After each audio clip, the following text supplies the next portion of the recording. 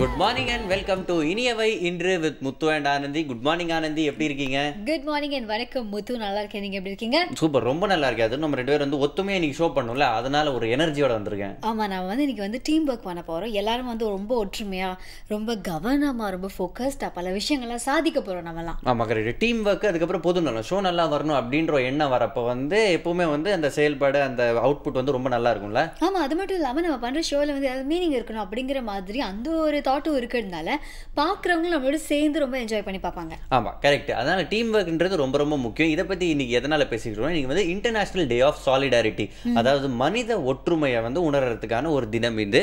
இதை வந்து யுஎன் அதாவது ஐநா சபை அவங்க வந்து ரெண்டாயிரத்தி அஞ்சுல இருந்தே அனுசரிக்க ஆரம்பிச்சிருக்காங்க இந்த ஒரு நாள்ல.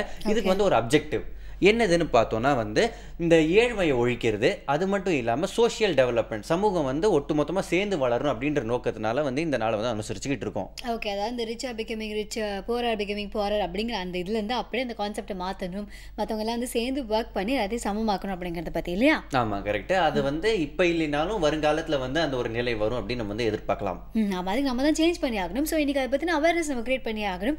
அதுக்காக ஒரு முக்கியமான கெஸ்ட் இன்னும் கொஞ்ச நேரத்தில் நம்ம ஸ்டுடியோக்கு வருவாங்க. பட் அதுக்கு முன்னாடி அதுக்கு முன்னாடி என்ன பண்ண போறோம் நம்ம உடம்புல வந்து எல்லா பார்ட்டையும் அப்படியே வந்து இப்போ வந்து கண்ணு முழிச்சிருக்கு மூளை முழிச்சிருக்கு ஆனா மற்ற சில பகுதிகள்லாம் இன்னும் கொஞ்சம் சோம்பலா இருந்தா நம்ம வந்து ஒரு நல்ல முத்திரை பண்ணி எல்லா பார்ட்டையும் அப்படியே எழுப்ப போறோம். ஓகே ஸோ இன்னைக்கு அந்த முத்திரை பார்த்துடலாமா?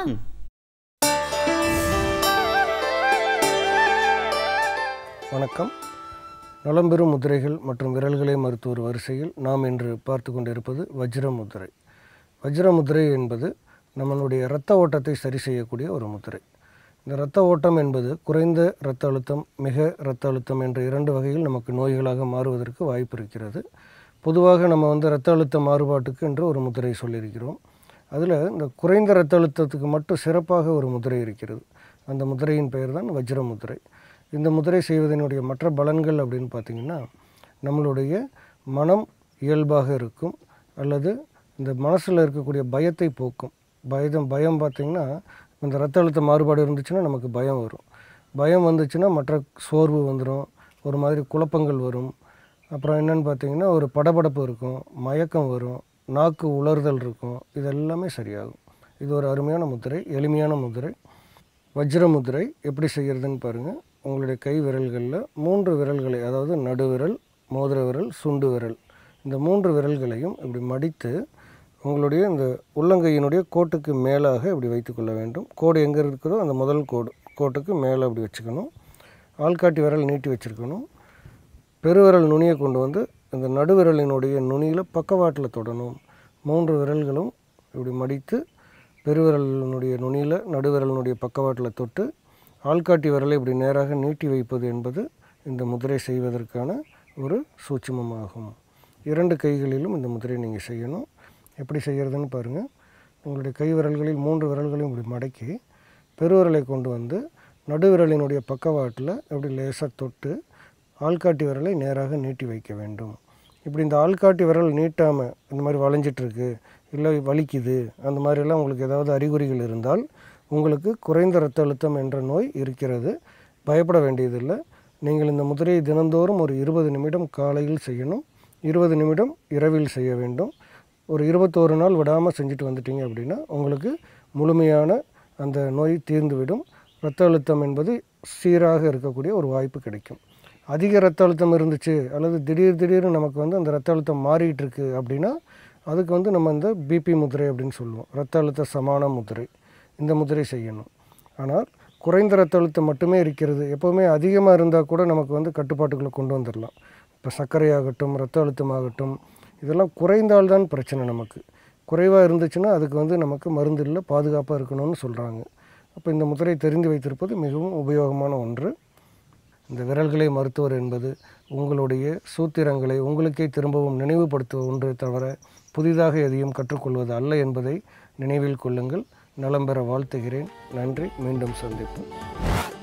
ஓகே ஸோ இன்றைக்கும் உடலும் உள்ளமும் பகுதியில் ஒரு முத்திரையோடு ஸ்டார்ட் பண்ணியிருக்கோம் அதாவது நம்ம தாட்ஸ் அதே மாதிரி நம்ம ஃபிசிக்கல் பாடி எல்லாமே வந்து ஒன்றா இருந்தால் மட்டும்தான் நம்ம வந்து ஹெல்த்தியாக இருப்போம் அப்படின்னு சொல்லுவாங்க. ஸோ இங்கே ஒரு சாலிடாரிட்டி ஆமாம் ஆமாம் அதான் அந்த ஒற்றுமை அப்படிங்கிறது எல்லா இடத்துலையுமே இருக்கணும். இல்லைன்னா ஒன்றும் பண்ண முடியாது அப்படிங்கிறதுக்கு நம்ம பாடியை வந்து பெஸ்ட் எக்ஸாம்பிள் சப்போஸ் மூளை மட்டும் சூப்பராக ஒர்க் பண்ணுது. மற்ற எதுவுமே ஒர்க் பண்ணல என்ன பண்ணுறது ஒன்றும் பண்ண முடியாது. பட் மற்ற எல்லாம் சூப்பராக ஒர்க் பண்ணுது. மூளை வேலையை செய்யலாம் என்ன பண்ண முடியும்? சூப்பர் ஆனந்தி நீங்க. ஆக வழக்கமா நம்ம நிகழ்ச்சியில சௌமியா தான் வந்து கருத்து சொல்லுவாங்க. இன்னைக்கு அவங்களே மிஞ்சிட்டீங்க இந்த ஒரு கருத்துனால. இதை வந்து நான் பிரேக்ல இன்னும் கொஞ்சம் பாராட்ட போறேன். அதனால பிரேக் எடுத்துக்கலாம். புதிய ஸ்டேஷன்ல இது. இனியவன் என்று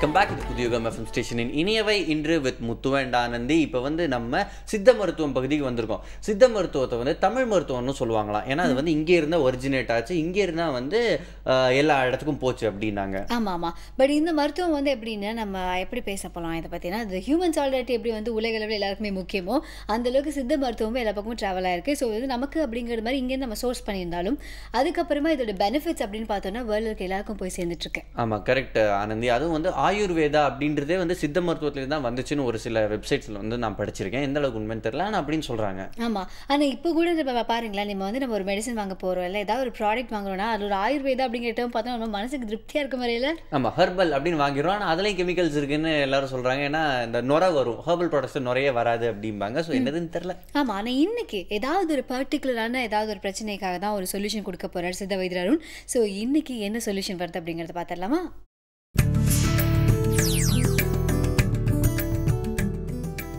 நலம் அன்புடன் பகுதியில் இன்றைக்கு நாம் பார்க்கக்கூடிய நோய் அண்டவாதம். அண்டவாதம் அப்படிங்கிறது வந்து ஆண்களுக்கு விதைப்பையில் ஏற்படக்கூடிய வீக்கத்தை குறிக்கும்.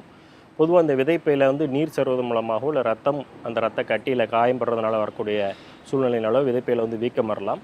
இதில் நீர் அண்டம் அப்படின்னு சொல்லக்கூடியது அதாவது நீரினால் அண்ட அந்த விதைப்பையில் வந்து நீர் சேர்த்து கொள்வது ஹைட்ரோசில்னு கூட ஆங்கிலத்தில் குறிப்பிடுவோம். அந்த மாதிரியான வீக்கத்தை தான் நீரண்டம் சொல்லுவோம். அது அண்டவாதத்தில் ஒன்றாக வரும். அதற்குரிய குறிகுணங்கள் எப்படி இருக்குன்னா ஆண்களுடைய விதைப்பை வந்து வீங்கிக்கிட்டே வரும். ஆரம்பத்தில் சிறுசாக இருந்த வீக்கம் வந்து கொஞ்சம் கொஞ்சமாக பல்ஜ் ஆகிக்கிட்டே வரும். அந்த பல்ஜ் ஆகிறது வந்து வலி எதுவும் இருக்கிறதுனால அதை வந்து கவனத்தில் அவங்க கொள்ள மாட்டாங்க. அந்த வீக்கம் வந்து ஒரு விதையில் சுற்றி ஏற்படக்கூடிய அந்த வீக்கமானது நாலாயிரத்தில் பெருசாகி ஒரு பலூன் சைஸுக்கே கூட ஆகக்கூடிய ஒரு சூழ்நிலை வந்து ஏற்படலாம். அதனுடைய க பிற்காரணங்களாக அவங்களுக்கு வந்து பிற்காலத்தில் வந்து குழந்தை பிறப்புக்கு கூட ஏதாவது பாதிப்பு ஏற்படக்கூடிய ஒரு சூழ்நிலையும் இருக்கும். அந்த விந்து உற்பத்தியாகக்கூடிய தளங்களையும் அது பற்றி கொண்டு இருந்ததனால் அந்த மாதிரியான ஒரு சூழ்நிலை ஏற்படுவதற்குண்டான வாய்ப்புகளும் இருக்கும். இதை தான் நம்ம நீரண்டம் அல்லது ஹைட்ரோசில்னு சொல்லுவோம். பெரும்பாலும் இதுக்கு அறுவை சிகிச்சை முறை இருக்குது சித்த மருத்துவத்துறையில் இது எளிதாக நம்ம இந்த வீட்டு வைத்தியம் மூலமாகவே இந்த நீரண்டம் சொல்லக்கூடிய ஹைட்ரோசிலை முழுமையாக நம்ம வந்து நீக்கிக்க முடியும். அதற்கு தேவையான மருந்துகள்னு பார்த்தீங்கன்னா நாட்டு மருந்து கடைகளில் கிடைக்கக்கூடிய கலர்ச்சி கலர்ச்சி காய் அப்படின்னு ஒரு பொருள் கெச்சக்காயின்னு கூட குறிப்பிடுவாங்க. பச்சை நிறத்தில் வலுவலுன்னு இருக்கக்கூடிய அந்த கலர்ச்சி காயை உடைச்சி எடுத்தோம்னா உள்ளுக்குள்ளே ஒரு பருப்பு இருக்கும். வெண்ணிற பருப்பு இருக்கும். அந்த விதையை எல்லாம் கோழி முட்டை வெண்கருவில் நன்றாக அரைச்சிக்கணும். அந்த உள்ளே இருக்கக்கூடிய பருப்பை பவுட்ரு பண்ணி கோழி முட்டை வெண்கருனால் நன்றாக அரைத்து அதை பாதிக்கப்பட்ட அந்த விதையில் வந்து நம்ம பற்று போட்டோம்னா இரவு நேரம் தூங்க போகிறது நேரத்தில் பற்று போட்டோம்னால ஒரு இரண்டு மூன்று நாட்கள்லேயே அந்த வீக்கம் வந்து முழுமையாக பற்றிவிடும். அந்த நோயும் முற்றிலுமாக குணமாகிவிடும். சிலருக்கு பெரிய வீக்கம் அதிக அளவில் வீக்கம் இருக்கும். இல்லை யானைக்கால் நோயில் இருக்கக்கூடிய வீக்கம் இல்லை அடிபட்ட காயத்தினால் ஏற்படக்கூடிய ரத்த வீக்கமாக இருந்ததுன்னா அதே மாதிரி எக்ஸ்டர்னலாக அந்த கலர்ச்சியை வந்து பற்று போட்டுட்டு இன்டர்னலாக உள் மருந்தாக வந்து நம்ம கலர்ச்சியை வந்து பயன்படுத்தலாம். அதுக்கு கலர்ச்சியோட இலைகளை பயன்படுத்தலாம். கலர்ச்சிங்கிறது வேலி தாவரமாக வளரக்கூடிய ஒரு கொடி வகையான ஒரு தாவரம். அந்த கலர்ச்சி இலையை நம்ம வந்து அரைச்சி அரிசி மாவோட கலந்து அடை சுட்டு சாப்பிடலாம். அந்த அடை சுட்டு சாப்பிட்றதுக்கு விளக்கெண்ணெயை வந்து பயன்படுத்தலாம். மாலை காலை மாலை இரண்டு வேளையும் ஒரு ரெண்டு ரெண்டு அடைகளை சாப்பிட்டுட்டு அந்த விளக்கெண்ணையை உள்ளுக்கும் குடிக்கணும். இரவு நேரத்தில் ஒரு பதினஞ்சு மணி வரைக்கும் உள்ளுக்கும் குடிக்கும்போது அந்த வாதம் அந்த அண்டவாதம்னு சொல்லக்கூடிய நீரண்டமாக இருந்தாலும் சரி இல்லை ரத்த அண்டமாக இருந்தாலும் சரி எந்த நோயும் முற்றிலுமாக குணமாகிறதுக்கு இந்த கலர்ச்சி அடையை உள்ளுக்கு சாப்பிட்டு அந்த கலர்ச்சி விதை பருப்பு பொடியை அந்த வெள்முட்டையை முள் முட்டையை வெள்ளைக்கருவோட நல்லா கலந்து வெளியில் அப்ளை பண்ணும்போது இந்த ஹைட்ரோசில்னு சொல்லக்கூடிய அண்டவாதம் அல்லது நீரண்டம் முற்றிலுமாக குணமாகும். ஸோ முத்து இதுக்கான சித்த வைத்தியம் அதை பார்த்து முடிச்சாச்சு இல்லையா? இப்போ அடுத்ததாக வந்து நான் வந்து ஒரு நெறிமுறை சொல்ல போகிறேன் என்னது? நெறிமுறைகளை நீங்கள் வந்து ஃபாலோ பண்ணுறீங்களா நெறிமுறைகளை நான் வந்து கேட்டுப்பேன் முடிஞ்சா ஃபாலோ பண்ணுவேன். ஆமா இந்த எத்திக்ஸ் அந்த எத்திக்ஸ் இந்த எத்திக்ஸ் அப்படிம்பாங்க ஆஃபீஸ் எத்திக்ஸ் அப்படிம்பாங்க ஹியூமன் எத்திக்ஸ் அப்படிம்பாங்க. நிறைய எத்திக்ஸ் இருக்கு இதெல்லாம் யார் ஃபாலோ பண்றா யார் இதெல்லாம் டிசைன் பண்ணிருப்பா? தெரியலையே ஆனந்தி. ஏன் ரொம்ப யோசிக்கிறீங்களா இதை ஆ, பத்தி? ஆமா இதை சரி இதை பத்தி நீங்க என்ன சொல்ல போறீங்க என்ன கருத்து சொல்ல போறீங்க ஏன்னா நீங்க வந்து நீங்க கருத்து மோட்ல இருக்கீங்கல்ல. ஆமா ஆமா அதாவது ஒருத்தர் சொல்லியிருக்காரு அதை நான் அப்பவே சொல்லிடுறேன் ஓகே அவர் யார் என்ன அப்படிங்கறத அப்புறம் சொல்கிறேன் முதல்ல நான் சொன்ன மாதிரி இருக்கட்டுமே. அதாவது ஒரு எத்திக்ஸ்ல வந்து நீங்கள் வந்து சேஞ்சஸ் கொண்டு வரணும். அது வந்து மாடர்ன் எத்திக்ஸ்லாம் வரணும் அப்படின்னு நீங்கள் நினச்சிங்கன்னா முதல்ல அடிப்படையில் மனிதர்கள்கிட்ட வந்து ஒற்றுமை இருக்கணும் அப்படின்னு சொல்கிறாங்க ஓ ஓகே ஒத்துமையா இருந்தாதான் இந்த மாதிரி மாற்றங்கள்லாம் கொண்டு வர முடியும் அப்படின்றாரா? ஆமா அதாவது நீங்க இப்போ ரூல்னு நினைக்கிறீங்க. அது வந்து ஒரு பத்து பேர்ல பத்து பேருமே ஃபாலோ பண்ணலாம் அப்புறம் எதுக்கு அந்த ரூல் ம் கரெக்ட் அப்புறம் எதுக்கு அந்த எதிக்ஸ் ஆ ஸோ அதனால் நம்ம பத்து பேரும் சேர்ந்து ஒரு விஷயத்தை ஃபாலோ பண்ணுறோம் அதில் ஒரு சில விஷயங்கள்லாம் தவறும் அப்படிங்கும்போது ஓகே இதுதான் எத்திக்ஸ் இதை நீங்கள் ஃபாலோ பண்ணுங்க அப்படின்னு சொல்லலாம். ஸோ அதனால வந்து பேசிக்காக ஒற்றுமை இருந்தால் மட்டும்தான் எந்த ஒரு விஷயமே வந்து சாதிக்க முடியும் அப்படிங்கிறதுக்கு. இது ஒரு example okay Anandhi. Super Anandhi. இது யாரு சொன்னாங்கன்றத சொல்லிருங்க. விட மாட்டீங்களே. நான் சொன்னதாவே இருக்கட்டும் அப்படின்னா நீங்க விட மாட்டீங்க. சரி ஓகே வந்து ஒரு தத்துவ ஞானி ஓகேவா அவர் பேர் என்ன அப்படின்னா ஆல்பர்ட் ஸ்வைட்சர். ஓ அவரா? ஓகே நோபல் பீஸ் பீஸ் பிரைஸ்லாம் வாங்கியிருக்காரு அவரு. அப்படி அப்போ அவங்கள பற்றி உங்களுக்கு தெரியுமா? அப்போ நான் அவரை பற்றி பேசல. இன்னைக்கு யார் எந்த புக்கை பற்றி நம்ம பகுதியில் பேச போகிறாங்க அப்படிங்கிறத பார்த்துடலாமா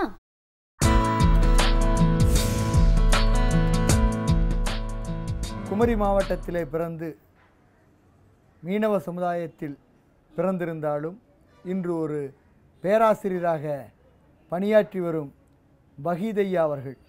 தன்னுடைய சமூகத்தினுடைய வழிகளை பதிவு செய்துள்ள அற்புதமான ஆவணம் இது. அறுபத்தி நான்கு பக்கங்களை மட்டுமே கொண்டிருந்தாலும் கூட புத்தகத்தின் தொடக்கத்திலேயே அவர் ஒன்றை குறிப்பிட்டிருக்கிறார். தமிழக கடல் வாழ் மக்கள் மீது அரசு நடத்திய கொள்கை என்று சொல்லி நடத்திய தாக்குதல் என்று அருமையான தலைப்பை கொடுத்து ஒரு நாம் அறியாத ஒரு உலகத்தை காட்டியிருக்கிறார்.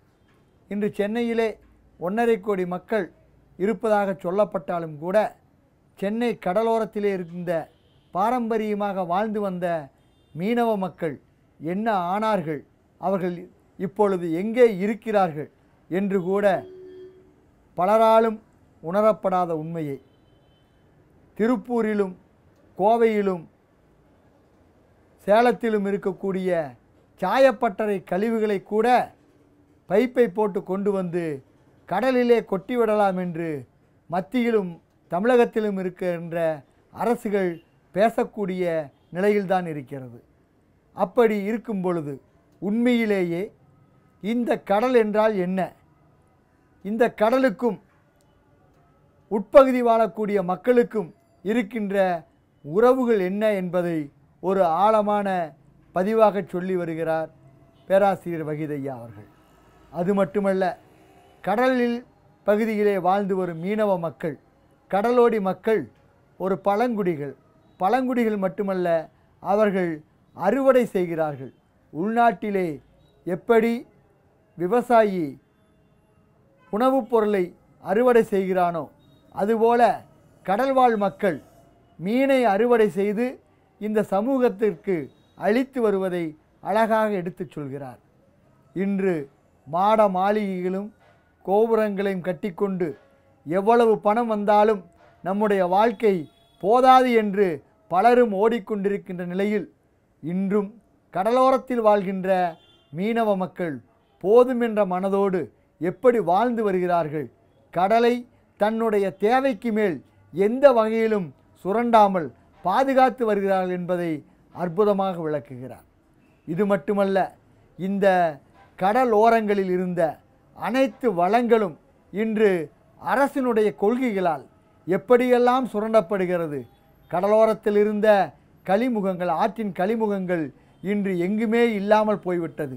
இங்கே ஒரு பெரிய சத்தம் மழை பெய்யும் பொழுதெல்லாம் எழுகிறது. க ஆற்றிலே போகின்ற நீர் வீணாக கடலிலே போய் கலக்கின்றது என்ற குரல் பலராலும் எழுப்பப்படுகிறது.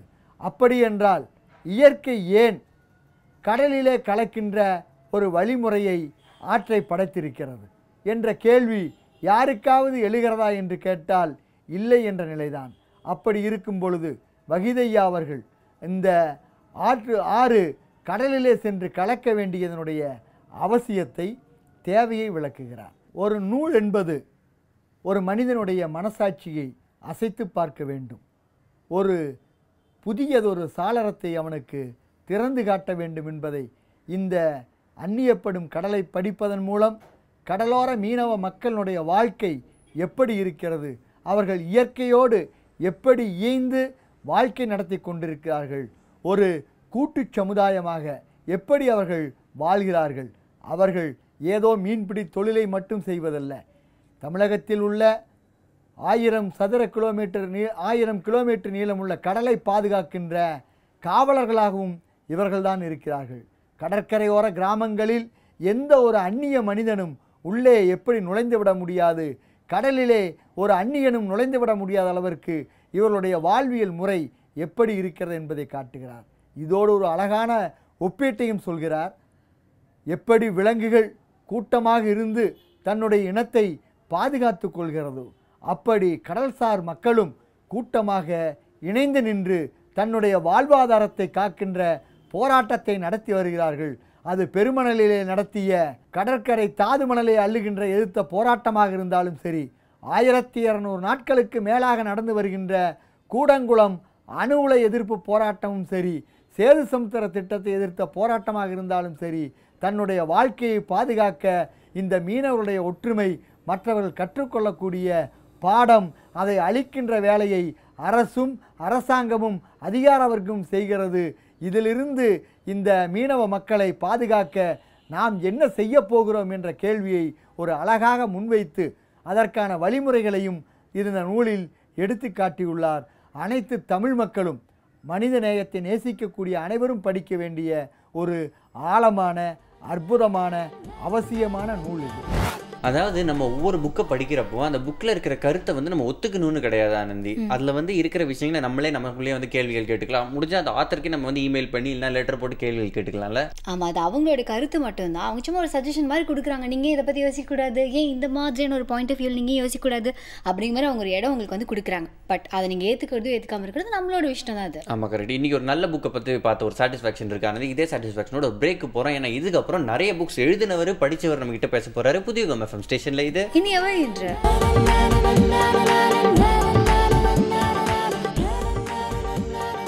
வெல்கம் பேக் புதிய உகாம் எஃப்எம் ஸ்டேஷனில் கேட்டுட்டு இருக்கீங்க இனியவன் இன்று வித் மீ அனந்தி என் மொத்தம் பொதுவாக எல்லாருமே சொல்கிற ஒரு விஷயம் தான் நான் சொன்னோன்னே அப்படிலாம் நீங்கள் ஃபீல் பண்ண வேண்டாம் என்னென்னா நமக்கு என்ன வேணும் அப்படிங்கிறது நமக்கு தெரியும் இல்லையா? ஸோ எப்போவுமே வந்து இன்னொருத்தங்க ஏதாவது ஒரு ஹெல்ப் கேட்குறாங்க அப்படின்னா அந்த நிலைமையில் நம்ம இருந்தால் நமக்கு தேவைப்படுமே அப்படிங்கிற அந்த ஒரு தாட் மைண்டில் வச்சு நம்ம ஹெல்ப் பண்ணணும் அப்படின்னு சொல்லுவாங்க இல்லையா? ஆமாம் கரெக்ட் அதுவும் வந்து தர்மம் தலை காக்கும் அப்படின்னு புரட்சி தலைவர் சொல்லியிருக்காருல்ல. அதாவது மற்றவங்களுக்கு நம்ம இப்போ ஹெல்ப் பண்ணிட்டோம்னா நமக்கு தேவையானப்ப வேற யாராவது நமக்கு வந்து ஹெல்ப் பண்ணுவாங்க. ஆமாம் இது வந்து இப்படியும் சொல்லலாம் நம்ம. ஆனால் அது வந்து உங்களுக்கு மேபி லாஜிக்கலாக அது யோசிக்கும் போது நடக்குமா நடக்காது அப்படிங்கலாம் தெரியாது. அது ஏன்னா உங்களுக்கு தெரியல கண்ணுக்கு தெரியாத ஒரு விஷயமாச்சே. பிகாஸ் இப்போ வந்து நம்ம பணம் போடுறோம் பேங்க்கில் அப்படிங்கிறது கொஞ்சம் கொஞ்சம் கொஞ்சமாக நம்ம சேவ் பண்ணாலும் இன்ட்ரெஸ்ட்டோடு எப்படி நமக்கு வந்து லம்பாக கிடைக்குது? அந்த மாதிரியான விஷயம் தான் நம்ம பண்ணுற குட் டீட்ஸும் அப்படின்னு சொல்லுவாங்க. பட் அது வந்து நீங்கள் ஃபிசிக்கல் குவான்டிட்டியாக பார்க்க முடியாது. பட் ஸ்டில் அது வந்து உங்களை வந்து தலை காக்கும் அப்படிங்கிறது அதெல்லாம் வருது ஓகே சூப்பர் இருந்தது அதாவது மற்றவங்களுக்கு உதவி செய்கிறது எவ்வளோ முக்கியம் அப்படின்றத பற்றி இப்போ நம்ம நமக்கு தெரிஞ்ச விஷயங்களை பேசணும். ஆனால் இதை பற்றி இன்னும் டீட்டெயிலாக இறை அன்பு பேச போகிறாரு உள்ளுவதெல்லாம் பகுதியில் பார்த்துலாம்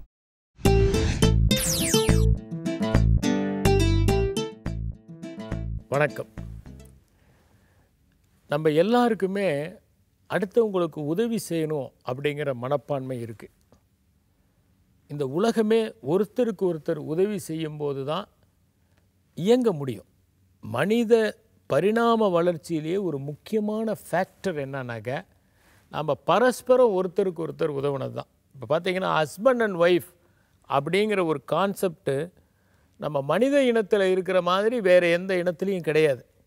அதுக்கு மெயின் கா காரணம் என்னென்னா இந்த குழந்தைய வளர்த்துறதுக்கு ஒரு ஆணுடைய தேவை ஒரு பெண்ணுக்கு இருக்குது தன்னுடைய குழந்தை வளர்றதுல அக்கறை ஆணுக்கு இருக்குது அதனால தான் இந்த குடும்பங்கிற கான்செப்ட் வந்து மனிதர்கள்கிட்ட ரொம்ப ஸ்ட்ராங்காக ஏற்பட்டது. மனிதன் வந்து கோஆப்ரேட் பண்ணுறதுக்கு காரணமே என்னென்னா அவன் கோஆப்ரேட் பண்ணால் தான் வெற்றி பெற முடியுங்கிற சூழல் அவன் பரிணாம வளர்ச்சியில் அவன் முதல் கட்டத்தில் இருந்து ஆரம்பமாச்சு. அவன் ஆதி மனிதனாக இருந்தப்ப இருந்தே இது வந்து ஸ்டார்ட் ஆச்சு.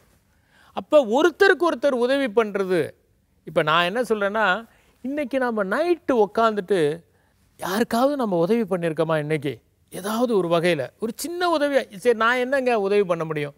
ஒன்றுமில்லை ஒருத்தர் கஷ்டப்படுறாரு. சின்ன வயசில் வந்து நான்லாம் பார்த்துருப்பேன். எப்படின்னாக்க அப்படியே நடந்து போகும்போது அந்த காலத்தில் இந்த பெண்கள்லாம் அந்த கூடையில் நிறைய பழங்கள்லாம் விற்றுட்டு போவாங்க. இப்போல்லாம் அந்த பிராண்ட் வந்துருச்சு. ஆப்பிளுக்கு கூட பிராண்ட் வந்துருச்சு. ஆரஞ்சு கூட பிராண்ட் வந்துருச்சு. அப்போல்லாம் அப்படி இல்லை. பழங்களை விற்றுட்டு போவாங்க. அப்புறம் நிலக்கடலையை விற்றுட்டு போவாங்க. கரும்பை விற்றுட்டு போவாங்க. அந்த மாதிரி பெண்கள் என்ன பண்ணுவாங்கன்னா சில நேரங்களில் சுமதாங்கி மேலே வச்சுருப்பாங்க. அந்த வழியாக நம்ம வரும்போது கொஞ்சம் தூக்கி விடுங்க அப்படிம்பாங்க. நம்ம சின்ன பையனாக இருப்போம். அப்போ அப்படியே தூக்கி விடுறது உண்டு. அதில் ஒரு பெரிய சந்தோஷம். அதாவது நாம் வந்து வேற ஒருத்தருக்கு தூக்கி தலையில் வைக்கிறதுக்கு ஹெல்ப் பண்ணியிருக்கோமே. இது வந்து தொடர்ந்தது. நான் சப் கலெக்டராக இருக்கும்போது பார்த்தீங்கன்னா இந்த ஜீப்பை விட்டுட்டு சில நேரங்களில் வாக்கிங் நட போவோம். என்ன, ஒரு ஆஃபீஸரை வந்துங்க ஒன்று அந்த டஃபேதார் இருந்தால் தான் அடையாளம் காண கண்டுபிடிப்பாங்க. அல்லது வெஹிக்கிள் இருந்தால் தான் அடையாளம் கண்டுபிடிப்பாங்க. இல்லைன்னா அடையாளம் தெரியாது. நீங்கள் பாட்டுக்கு நடந்து போனீங்கன்னா யாருக்கும் தெரியாதுல்ல. அப்படி நம்ம நடந்து போகும்போது பார்த்திங்கன்னா சில பேர் வந்து கூடையை வச்சுட்டு பெண்கள் இருப்பாங்க. கொஞ்சம் கொஞ்சம் ஒரு கை கொடு தம்பி அப்படிம்பாங்க. தூக்கி போடுறது உண்டு. இது மாதிரியான ஒரு ஃபிசிக்கல் ஹெல்ப் இப்போ எத்தனையோ பேருக்கு ஃபிசிக்கல் ஹெல்ப் செய்யலாம். ஒரு லிஃப்ட்டில் இருக்காங்க பையன் நகர்த்த முடியல ட்ரெயினில் வந்து மேலே வந்து சாமானை வைக்க முடியல. இதுக்கெல்லாம் நம்ம ஈகோ பார்க்க வேண்டிய அவசியம் இல்லை. உடனே டக்குன்னு தூக்கி இப்படி வச்சோம்னா அது ஒரு பெரிய சந்தோஷம். அவங்களுக்கும் ஒரு மகிழ்ச்சி நமக்கும் ஒரு மகிழ்ச்சி. முதல்லையே வந்து ஒரு பரஸ்பர நல்லெண்ணத்தோடு நம்ம பயணத்தை தொடங்க ஆரம்பிச்சிடுறோம். அவங்க தூக்கு தூக்குங்கன்னு சொன்னால் நான் யாருன்னு தெரியுமா? அப்படின்னு நம்ம அங்கே போய் பேசிகிட்டு இருக்கக்கூடாது அங்கே ஒரு சக பயணி நம்ம அடையாளங்களை எல்லாம் தொலைத்து விட்டிருந்தால் ம- மிக மிக மகிழ்ச்சி. ஃபிசிக்கலான ஒரு ஹெல்ப் ரெண்டாவது வந்து ஒரு மென்டலாக பண்ணக்கூடிய ஹெல்ப் ஒருத்தருக்கு கணக்கு தெரியல. ஒரு சின்ன கணக்கு தெரியல அப்படின்னா அதை சொல்லி கொடுக்கறது. அது எப்படி நம்ம சொல்லித்தரலாம் அவங்களுக்கு எப்படி ஹெல்ப் பண்ணலாம்? ஒருத்தர் பாடம் தெரியல. எப்படி சொ சொல்லலாம்? இது மாதிரி சைக் மென்டலாக பண்ணக்கூடிய ஹெல்ப் மன ரீதியாக நம்முடைய புத்தி ரீதியாக பண்ணக்கூடிய சில உதவி இருக்குது நாங்களாம் சின்ன வயசில் யாராவது வந்து வீடுக்கு ஏதாவது ஒரு வீட்டுக்கு போகணும் அப்படின்னு வழி கேட்டாங்கன்னா நாங்கள் கொண்டு போய் விட்டுட்டு வருவோம். அந்த வீடு வரைக்கும் நடந்து போய் விட்டுட்டு வருவோம். அது மாதிரியான ஒரு உதவி. இது ஃபிசிக்கல் மட்டுமில்லை மென்டலான விஷயமும் கூட. மூணாவது வந்து பார்த்திங்கன்னா இந்த சைக்கலாஜிக்கல் ஹெல்ப் அப்படிங்கிறது. இப்போ ரொம்ப சோர்வாக ஒரு மனுஷன் இருக்கான். அவங்ககிட்ட போய் ஆறுதலாக ஒரு நாலு வார்த்தை பேசுகிறது அவனுக்கு ஒரு தன்னம்பிக்கை கொடுக்கறது.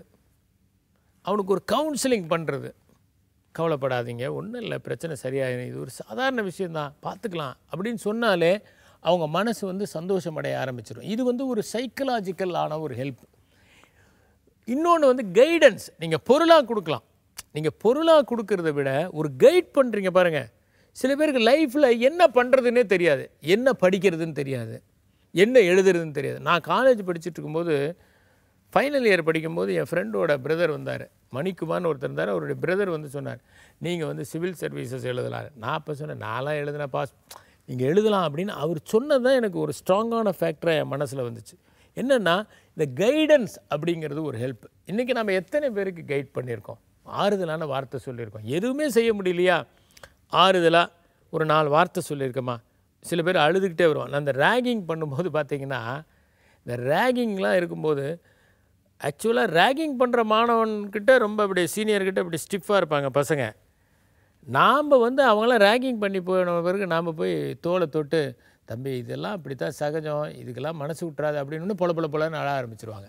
ஆக்சுவலி என்னென்னா அவ்வளவு ஸ்டிஃபாக அவங்ககிட்ட இருந்தவன் ஒன்றுமே நம்ம பண்ணலையே ஏன் அழறான்? ஏன்னா நம்ம கன்சோல் பண்ணுறோம் கன்சோல் பண்ணுறது தான் வந்து அவங்களுடைய ஃபீலிங்ஸை வெளியே கொண்டு வரதுக்கான வாய்ப்பாக இருக்குது வடிகாலாக இருக்குது இது மாதிரி பல்வேறு வகையில் நம்மால் முடிஞ்ச உதவியை செய்யலாம். நாம் இன்னைக்கு ராத்திரி படுக்கிறதுக்கு முன்னாடி இன்றைக்கி யாருக்கு ஹெல்ப் பண்ணியிருக்கோம் அப்படின்னு நம்ம நினச்சி நாம் இந்த எல்லா வகையிலையும் ஹெல்ப் பண்ணியிருந்தால் இந்த நாளை நாம் மிகவும் பயனுள்ள நாளாக மாற்றினோம் என்று மகிழலாம். இப்படி ஒவ்வொரு நாளையும் பயனுள்ள நாளாக மாற்றுபவன் தன் வாழ்க்கையே வசந்தமாக மாற்றிக்கொள்ளுகிறான் நன்றி வணக்கம். ஒருத்தருக்கு ஒருத்தர் உதவியா இருந்தா எவ்வளவு நல்லா இருக்கும்ல? நம்ம வந்து எல்லாருமே சேர்ந்து சக்சஸ் ஆகலாம். ஆமா. அதாவது நம்ம ஒரு சில விஷயங்களை சொல்லும்போது இம்மிடியேட்டாக யாரோ ஒருத்தங்க ஆக்ஷனில் இறங்கி அதை பார்த்து அவங்களுக்கு சந்தோஷமா இருக்கும்ல? அதே மாதிரி தான் இப்போ இறையன் சாரும் வந்து அப்படி ரொம்ப நிஜமாவா? அப்படின்னு சந்தோஷப்பட போறாரு. ஏன்னா அப்படின்னா நம்மளும் இப்போ வந்து மற்றவங்களுக்கு வந்து ஹெல்ப் பண்ண போறோம். ஆமா கரெக்ட் ஹெல்ப் பண்றது வந்து ஒரு சீக்ரெட் ஆஃப் சக்சஸ் அப்படின்னு சொல்லியிருக்காங்களா பெரியவங்க? ஆமா. அந்த ஹெல்ப் என்ன அப்படின்னா ஒரு புத்தகத்தை அறிமுகப்படுத்தி வைக்க போறோம். காமிங்க. ஓகே அந்த புக்கு வந்து இதோ என் கையில இருக்கே. இந்த சக்சஸ் மந்திரம் அப்படின்ற புக் தான். ஆமா. இது எழுதியிருக்கிறது வந்து சித்தார்த்தன் சுந்தரம் அப்படிங்கிறவர் எழுதியிருக்காரு. வாழ்க்கையில சாதித்த மனிதர்கள் இருபத்தி நான்கு பேர் பற்றின வந்த ஒரு புத்தகத்தோட மதிப்புரையாக தான் இது எழுதப்பட்டிருக்கு ஓகேவா அது மட்டும் இல்லாமல் இது யார் பப்ளிஷ் பண்ணிருக்காங்க அப்படின்னா சிக்ஸ்த் சென்ஸ் அப்படிங்கிறவங்க தான் பப்ளிஷ் பண்ணிருக்காங்க. இந்த புக்கோட விலை வந்து எண்பத்தி ஐந்து ரூபாய். ஓகே வரப்போற புக் ஃபேரை முன்னிட்டு இந்த புக்கை பத்தி இப்போ நம்ம பேசிக்கிட்டு இருக்கோம். இதே மாதிரி இந்த பகுதியில் உங்களோட புக்கு இடம்பெறணும் அப்படின்னு நீங்க நினைச்சீங்கன்னா ரெண்டே ரெண்டு காப்பி இப்போ ஸ்க்ரீனில் ஃபிளாஷ் ஆகிட்டு இருக்கிற அட்ரஸ்க்கு நீங்க எங்களுக்கு அனுப்பி வைக்கலாம். ஆமா இப்போ வந்து புக்கு எல்லாம் பேசி நம்மளாம் முடிச்சாச்சு இல்லையா? இப்போ அடுத்த இன்னொரு முக்கியமான விஷயம் வந்துட்டு இருக்கு. நம்மளோட கெஸ்ட்டும் இன்னும் கொஞ்ச நேரத்தில் வர போறாங்க இன்னைக்கு என்ன டே இன்னைக்கு வந்து international human solidarity day okay கெஸ்ட்டை வரவேற்றுலாமா அதுக்கு முன்னாடி ஒரு குட்டி பிரேக் எடுத்துக்கலாமா? புதிய எஃப்எம் ஸ்டேஷன்ல இது. இனி அவ என்று.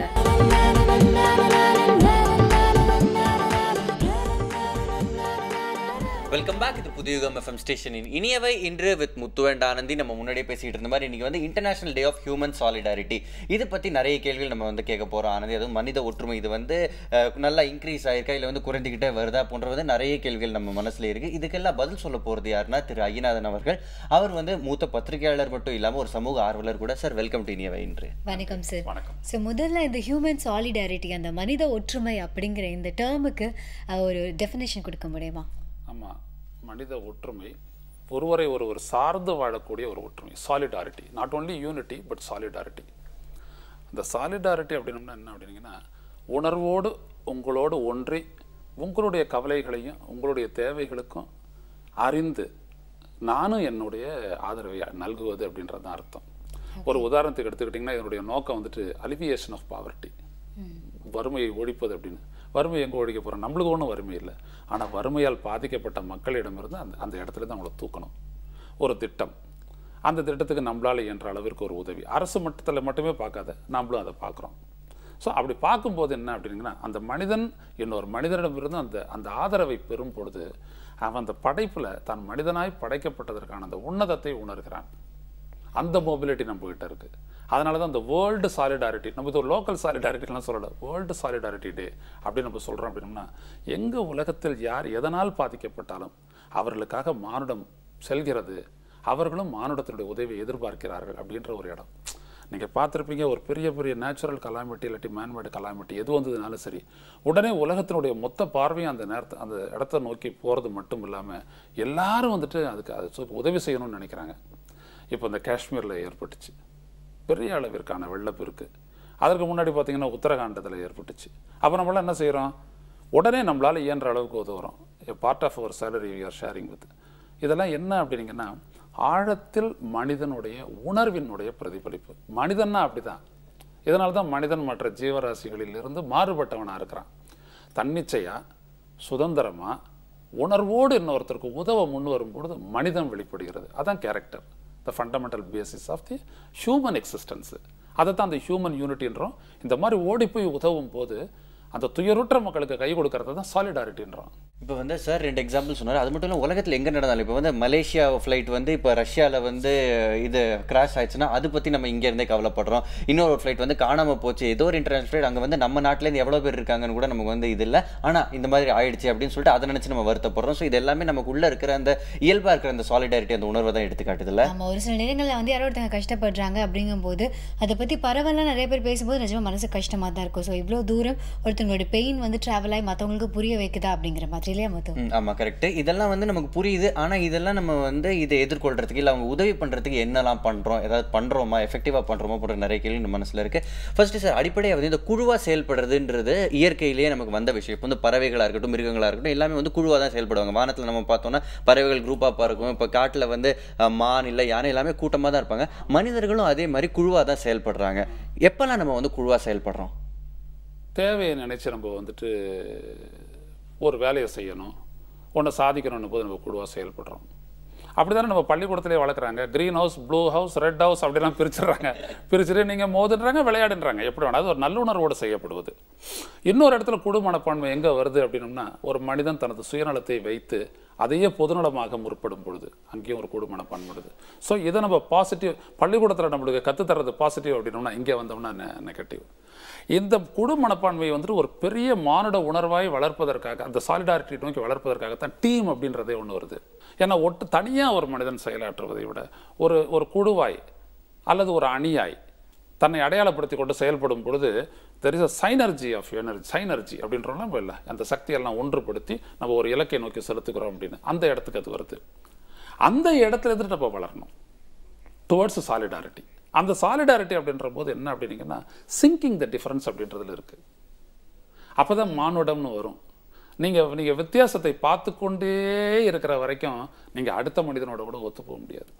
அப்போது த ஃபண்டமெண்டல் ஆஃப் எக்ஸிஸ்டன்ஸை நீங்கள் எடுத்துக்கிட்டீங்க அப்படின்னம்னா மானுடத்தினுடைய ஒற்றுமை தான் அதனை வாழ வைத்துள்ளது. அது எப்பொழுதெல்லாம் வேற்றுமையை நோக்கி பிரிந்து கிடைக்கின்றதோ அப்பொழுதெல்லாம் அது அழிவை சிந்தித்திரு சந்தித்திருக்கிறது. இதில் என்ன இந்த மாடர்ன் வேர்ல்டு அப்படின்னு சொல்லக்கூடிய இந்த நவீன யுகத்தில் என்ன நடக்குது அப்படின்னம்னா வீழ்ச்சிக்கு பிறகு நான் ஒற்றுமையை பற்றி பேசுகிறோம் ஆனால் வாழ்ந்ததெல்லாம் ஒற்றுமையில் தானேன்னு நம்ம சிந்திக்கிறதே இல்லை. இப்போ நீங்கள் பாருங்க மானுடம் அப்படின்றது அந்த படைப்பில் இருக்கக்கூடிய மிக உயர்ந்த ஒரு ஜீவநிலை ஜீவராசின்னு வச்சுக்கோங்களேன். அப்புறம் நம்ம வந்துட்டு அறிவார்ந்த மனிதனுக்கெல்லாம் வருவோம். மற்ற எந்த ஜீவராசியும் ஐந்தறிவு நாலறிவு மூணு அறிவு ரெண்டு அறிவு ஒரு அறிவு அப்படி நம்ம அழகாக படிநிலையில் குறைச்சிக்கிட்டே போகிறோம் டார்வின் தியரி. வச்சுக்கோங்க. அதில் எதுவுமே வந்துட்டு பார்த்தீங்கன்னா இந்த யூனிட்டி இல்லாமல் இல்லை. ஆனால் இவனில் தான் பார்த்தீங்கன்னா யூனிட்டி அப்படின்றதையே வந்துட்டு பேசி உருவாக்க வேண்டிய ஒரு நிலை. ஏன்னா வாழ்ந்தே உருவாக்கலை. ஒரு குடும்பத்திலேயே அந்த டிஸ்கார்டன்ட் வருதுல்ல? ஒரு மாறுபட்ட கருத்துன்றதே வந்துட்டு பிரிவிய சுத்தத்தில் ஆனால் அந்த ஒரு மாறுபட்ட கருத்து அவனுடைய கருத்துன்ற ஏற்படம் இல்லைல்ல. அதான் அரசியலையும் பிரதிபலிக்குது. அப்போ நீங்கள் ஒட்டு மொத்தமாக நீங்கள் பார்த்தீங்கன்னா எப்படி மானுடம் வாழ வேண்டுமோ அது வாழாத நிலையில் அது சந்திக்கக்கூடிய பிரச்சனைகளை எதிர்கொள்ளும் பொழுது அது ஒற்றுமையை நோக்கி பேசுகிறது. ஓகே ஸோ பிரச்சனைன்னு ஒன்று வந்தால் தான் நம்ம வந்து குழுவாக செயல்படுறோம். அப்படி பிரச்சனை வரல சந்தோஷமா இருக்கும்னா செல்ஃபிஷ் ஆயிடுறோம். இப்போ வந்து நான் பெரிய பெரிய விஷயங்கள் எடுத்துக்கல. இப்போ வந்து மணல் கொள்ளையா இருக்கட்டும் அது வந்து ஒருத்த ஒரு சில பேர் நல்லா இருக்கணும் அப்படின்னு இருக்கப்படுறாங்க சுற்றுச்சூழல் பாதிக்கப்படும் அதனால நிறைய பேர் பாதிக்கப்படுறாங்க. அதை பற்றி நினைக்கிறது இல்லை. ஆனால் அதுவே பிற்காலத்தில் ஒரு பிரச்சனை ஆயிடுச்சுன்னா அதுக்கப்புறம் விழித்தெழிஞ்சு வந்து ஐயோ இந்த மாதிரி பண்ணிட்டோமே அப்படின்னு நினைக்க தோணும்னு நினைக்கிறேன். ஆமா. ஆனா வந்து இப்போ வந்து நிறைய இடத்துல பார்த்தோம்னா ஒற்றுமையா சேர்ந்து கூட நிறைய தவறுகளையும் செய்யற ஒரு நிலையில தான் இருக்கோம் நம்ம அப்படின்னு சொல்லலாம். பிகாஸ் வந்து தனியாக ஒரு செயலை வந்து செஞ்சு தப்புன்னு மாட்டிக்கிறத விட அது ஒரு பத்து பதினஞ்சு பேர் பண்ணிட்டாங்க அப்படின்னா மனசுக்கு ஒரு நிம்மதி. கிளாஸுக்கு லேட்டாக போகும்போது நமக்கு ஒரு எக்ஸாம்பிள் கிடைக்குது. அந்த மாதிரியான விஷயங்கள். நான் லேட்டாக போகும்போது என்னோட இன்னும் ரெண்டு பேர் லேட்டாக வந்தாங்கன்னா அந்த குழுவை வந்து நான் என்ஜாய் தான் பண்ணுறேன் பட் இந்த குழு அப்படிங்கிறது வந்து நெகட்டிவாக இல்லாமல் எந்தெந்த மாதிரியான பாசிட்டிவ் விஷயங்கள்லாம் இதில் இருக்குது பாசிட்டிவ் விஷயங்கள் அப்படின்றது நிறைய இருக்குது இப்போ பார்த்தீங்கன்னா நீங்கள் ரெண்டு பேரும் ஒரு இருவர் குழு. நம்ம மூணு பேர் சேர்ந்தபோது ஒரு மூவர் குழு. இதை பார்க்கக்கூடிய மனிதர்கள் மனிதர்களுக்கு வந்துட்டு ஒரு ஒத்த கருத்தை ஏற்றாங்க இல்லைங்களா? இது ஒரு குழு மனப்பான்மை தான். ஒரு இடத்துல பார்த்தோம்னா. பெரிய மானுடத்தோடு ஒப்பிடும்போது நம்ம அந்த அளவுக்கு சுருக்கிறோம். ஆனால் எண்ணங்கள் நம்ம பேசக்கூடிய விடயங்கள் நம்மளை விரிவுபடுத்திக்கிறது. இதுதான் இங்கே முக்கியம். நீங்கள் எவ்வளோ சின்ன கூடு எவ்வளோ பெரிய கூடு அப்படின்றது முக்கியம் இல்லை. அந்த எண்ணங்களும் செயல்பாடும் அதனுடைய அடிப்படை விரிவானதாக இருக்கா? ஆல் என்கம்பாசிங் அப்படின்னு சொல்லுவாங்க இல்லையா? நம்மளோட ஆல் இன்க்ளூசிவ் க்ரோத் அப்படி தான் சொல்கிறோம் ஆல் இன்க்ளூசிவ் growth. எல்லோருக்குமான வளர்ச்சி.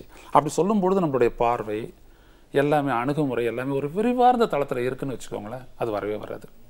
இப்போ அந்த பொதுவாக இவங்க எதை வச்சு எல்லா குழுவையும் வந்துட்டு வேறுபடுத்துகிறாங்கன்னா வேற்றுமைகளை வச்சு பண்ணுறாங்க அப்போ அந்த வேற்றுமைகள் அப்படின்றது என்னென்னா அடிப்படையில் இருந்து யோசிக்கக்கூடிய ஒரு விடயமாயிடுது என்ன வேற்றுமை? எல்லா இடத்துலையும் வேற்றுமை இருக்குது என்னது வெள்ளை தாடி உங்களது கருப்பு தாடி? நீங்கள் இளைஞர் நான் ஒரு வயதானவன். ஒரு கருப்பன் ஒரு வெள்ளையன் ஒரு கீழ் ஜாதி ஒரு மேல் ஜாதி அவன் வேற்று மதத்தான் நான் இந்த மதத்தான். இப்படி நீங்கள் வேற்றுமைகள் எல்லாத்தையும் பார்த்துக்கிட்டே இருக்கிறீங்க. குள்ள உயரமானவன் அழகானவன் அழகு இல்லாத இப்படி. ஆனால் நீங்கள் பார்க்கணும் ஒன்று ஒன்று ஒரு ஒரு எக்ஸ்பிரஷனை நீங்கள் பாருங்களேன். நீங்கள் அழகான புலி அழகற்ற புலி பார்க்குறீங்க? அழகான கழுதை அழகான கழுதை பார்க்குறீங்க? மனிதனில் இருக்கிறது. அப்போ என்ன அப்படின்னீங்கன்னா ஏதோ ஒரு இடத்துல வந்துட்டு இவன் படைப்பை சரியாக புரிஞ்சுக்கல. இந்த படைப்பை இப்படி தான் புரிஞ்சுக்கணும். இந்த வேற்றுமைக்கு ஒரு ஒரு ஒரு வாழ்வாதாரத்திற்கான ஒரு அடிப்படையாகவே ஒன்று இருக்குது ஒரு மீனவருக்கு இருக்கக்கூடிய ஒரு பலம் ஏன்னா ஒரு வலையை போட்டு இழுக்கிறதுனால இருக்கக்கூடிய உடல் பலம் வந்துட்டு நம்ம ஒரு பத்திரிகையாளர்கிட்ட தேட முடியுமா? ஏன்னா இவர் பிடிக்க வேண்டியது வெறும் பேனா தான். அங்கே கடற்கடன் எழுதணும் சொல்கிறதெல்லாம் அப்போது இவருக்கு வேறு விதமான உடல் வாக்கு இருக்கும். அதனால் அவனாட்ட நீ இல்லை அப்படின்னு சொல்லக்கூடாது. இது வேற்றுமைப்படுத்தல். இந்த வேற்றுமைப்படுத்தல் கூடாது. இந்த படைப்பில் ஒன்று ஒன்றுத்துக்கும் ஒரு ஒரு இடம் இருக்குது அப்படின்றத நம்ம நினச்சிக்கணும். ஒரு உழைப்பாளி அவனுக்குரிய இடம் இருக்குது ஒரு பெரிய ஒரு ஆளுமை உள்ளவர் அவருக்குன்னு ஒரு இடம் இருக்குது. ஆனால் எல்லாருமே delivering for the common good அப்படின்ற ஒரு இடத்துல நிற்கணும் இவங்க செய்யக்கூடிய செயலின் பலன்கள் ஒட்டுமொத்த நலனுக்குத்தான் என்பதை நீங்கள் புரிந்து கொண்டீர்களானால் எல்லோருக்கும் இருக்கக்கூடிய அந்த சமநிலையை புரியும். இந்த ஒட்டுமொத்த நலன் அப்படின்ற யோசிக்கிற ஒரு எண்ணம் வந்து சாலிடாரிட்டி அதாவது ஒற்றுமையை நோக்கி வந்து. போகும். இப்போ இந்த ஒற்றுமை அப்படின்றது வந்து இந்த காலத்துல குறைஞ்சிருக்குன்னு நினைக்கிறீங்களா இல்ல கூடி இருக்குன்னு நினைக்கிறீங்களா? தேவைக்கேற்ற மாதிரி இருக்கு.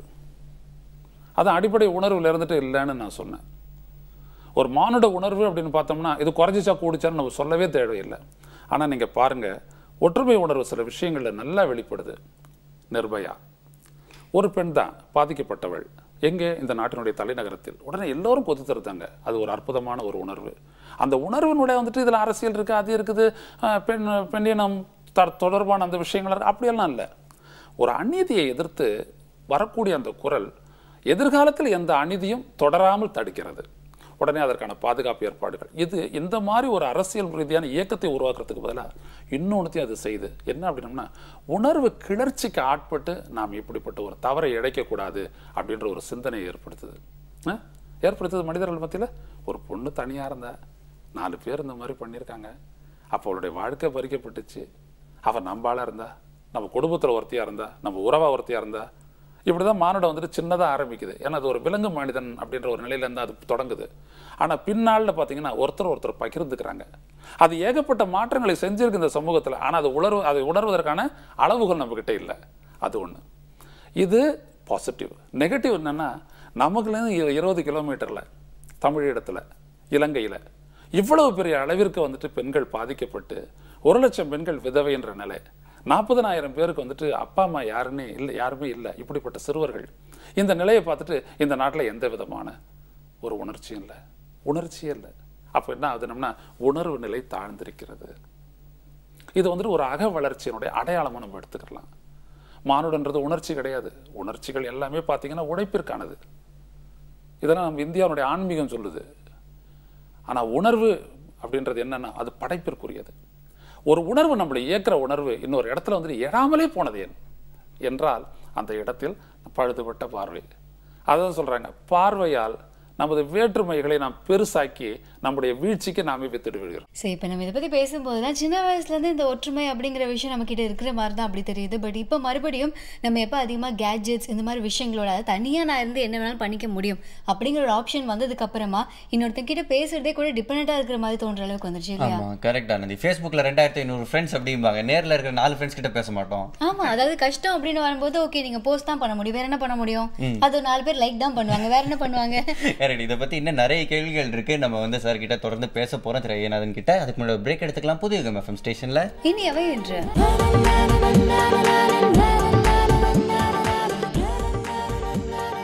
வெல்கம் பேக் இது புதிய யுகம் எஃப்எம் ஸ்டேஷனின் இனியவை. இன்று வித் முத்து அண்ட் ஆனந்தி. இன்னைக்கு வந்து மனித ஒற்றுமையை பத்தி நிறைய விஷயங்கள் பேசியிருக்கோம் ஆனந்தி. அதாவது எனக்கு விளையாட்டு நம்ம எடுத்துக்கிட்டோம்னா எனக்கு வந்து இந்த டென்னிஸ் கோல்ஃப் மாதிரி இண்டிவிஜுவல் ஸ்போர்ட்டை விட கிரிக்கெட் இந்த மாதிரி குரூப் இந்த டீம் கேம் தான் வந்து பார்க்கணும். கிரிக்கெட் ஃபுட்பால் மாதிரி. அதை தான் வந்து எல்லாருமே ரசிச்சு பார்ப்பாங்கல்ல நிறைய பேர். ஆமா அது மட்டும் இல்லாம அதுல நீங்க ஜெயிக்கும் போது அதுக்குன்னு ஒரு க்ரௌட் எல்லாரும் சேர்ந்து கத்தும் போது தானே அப்பவுமே நல்லா இருக்கு. யாருமே நம்ம ஜெயிச்சும் கத்தல அப்படின்னு ஒரு மாதிரியில இருக்கும். ம், ஆமா கரெக்ட் இப்போ கிரிக்கெட்டே வந்து ஒரு எக்ஸாம்பிள் எடுத்துக்கலாம். ஏன்னா வந்து டெண்டுல்கரால் நல்லா bowling போட்டு விக்கெட் எடுக்க முடியாது. அவரால் பேட்டிங் மட்டும் தான் பண்ண முடியும். அதனால அதுக்குன்னு ஒரு bowler இருப்பாங்க. அவங்கள வந்து இவங்க அப்ரிஷியேட் பண்ணுவாங்க. அதுக்கு வந்து இவங்க கேட்ச் பிடிச்சாதான் விக்கெட்ல விழும். ஸோ ஒரு டீம் ஒர்க்ன்றது அந்த இடத்துல வந்து பிரதிபலிக்குது இல்ல ஓகே நீங்க வந்து லைஃப் இஸ் a கேம் அதனால எல்லாரும் சேர்ந்து விளையாடுங்க அப்படிங்கிற அளவுக்கு நீங்க பேசி முடிச்சிருக்கீங்க. பட் இன்னைக்கு இந்த ஹியூமன் சாலிடாரிட்டி அப்படிங்கும்போது நம்மளோட ஒற்றுமையை பத்தி பல கேள்விகள் தொடர்ந்து கேட்க வேண்டியது இருக்கு. தொடர்ந்து பேசலாம்.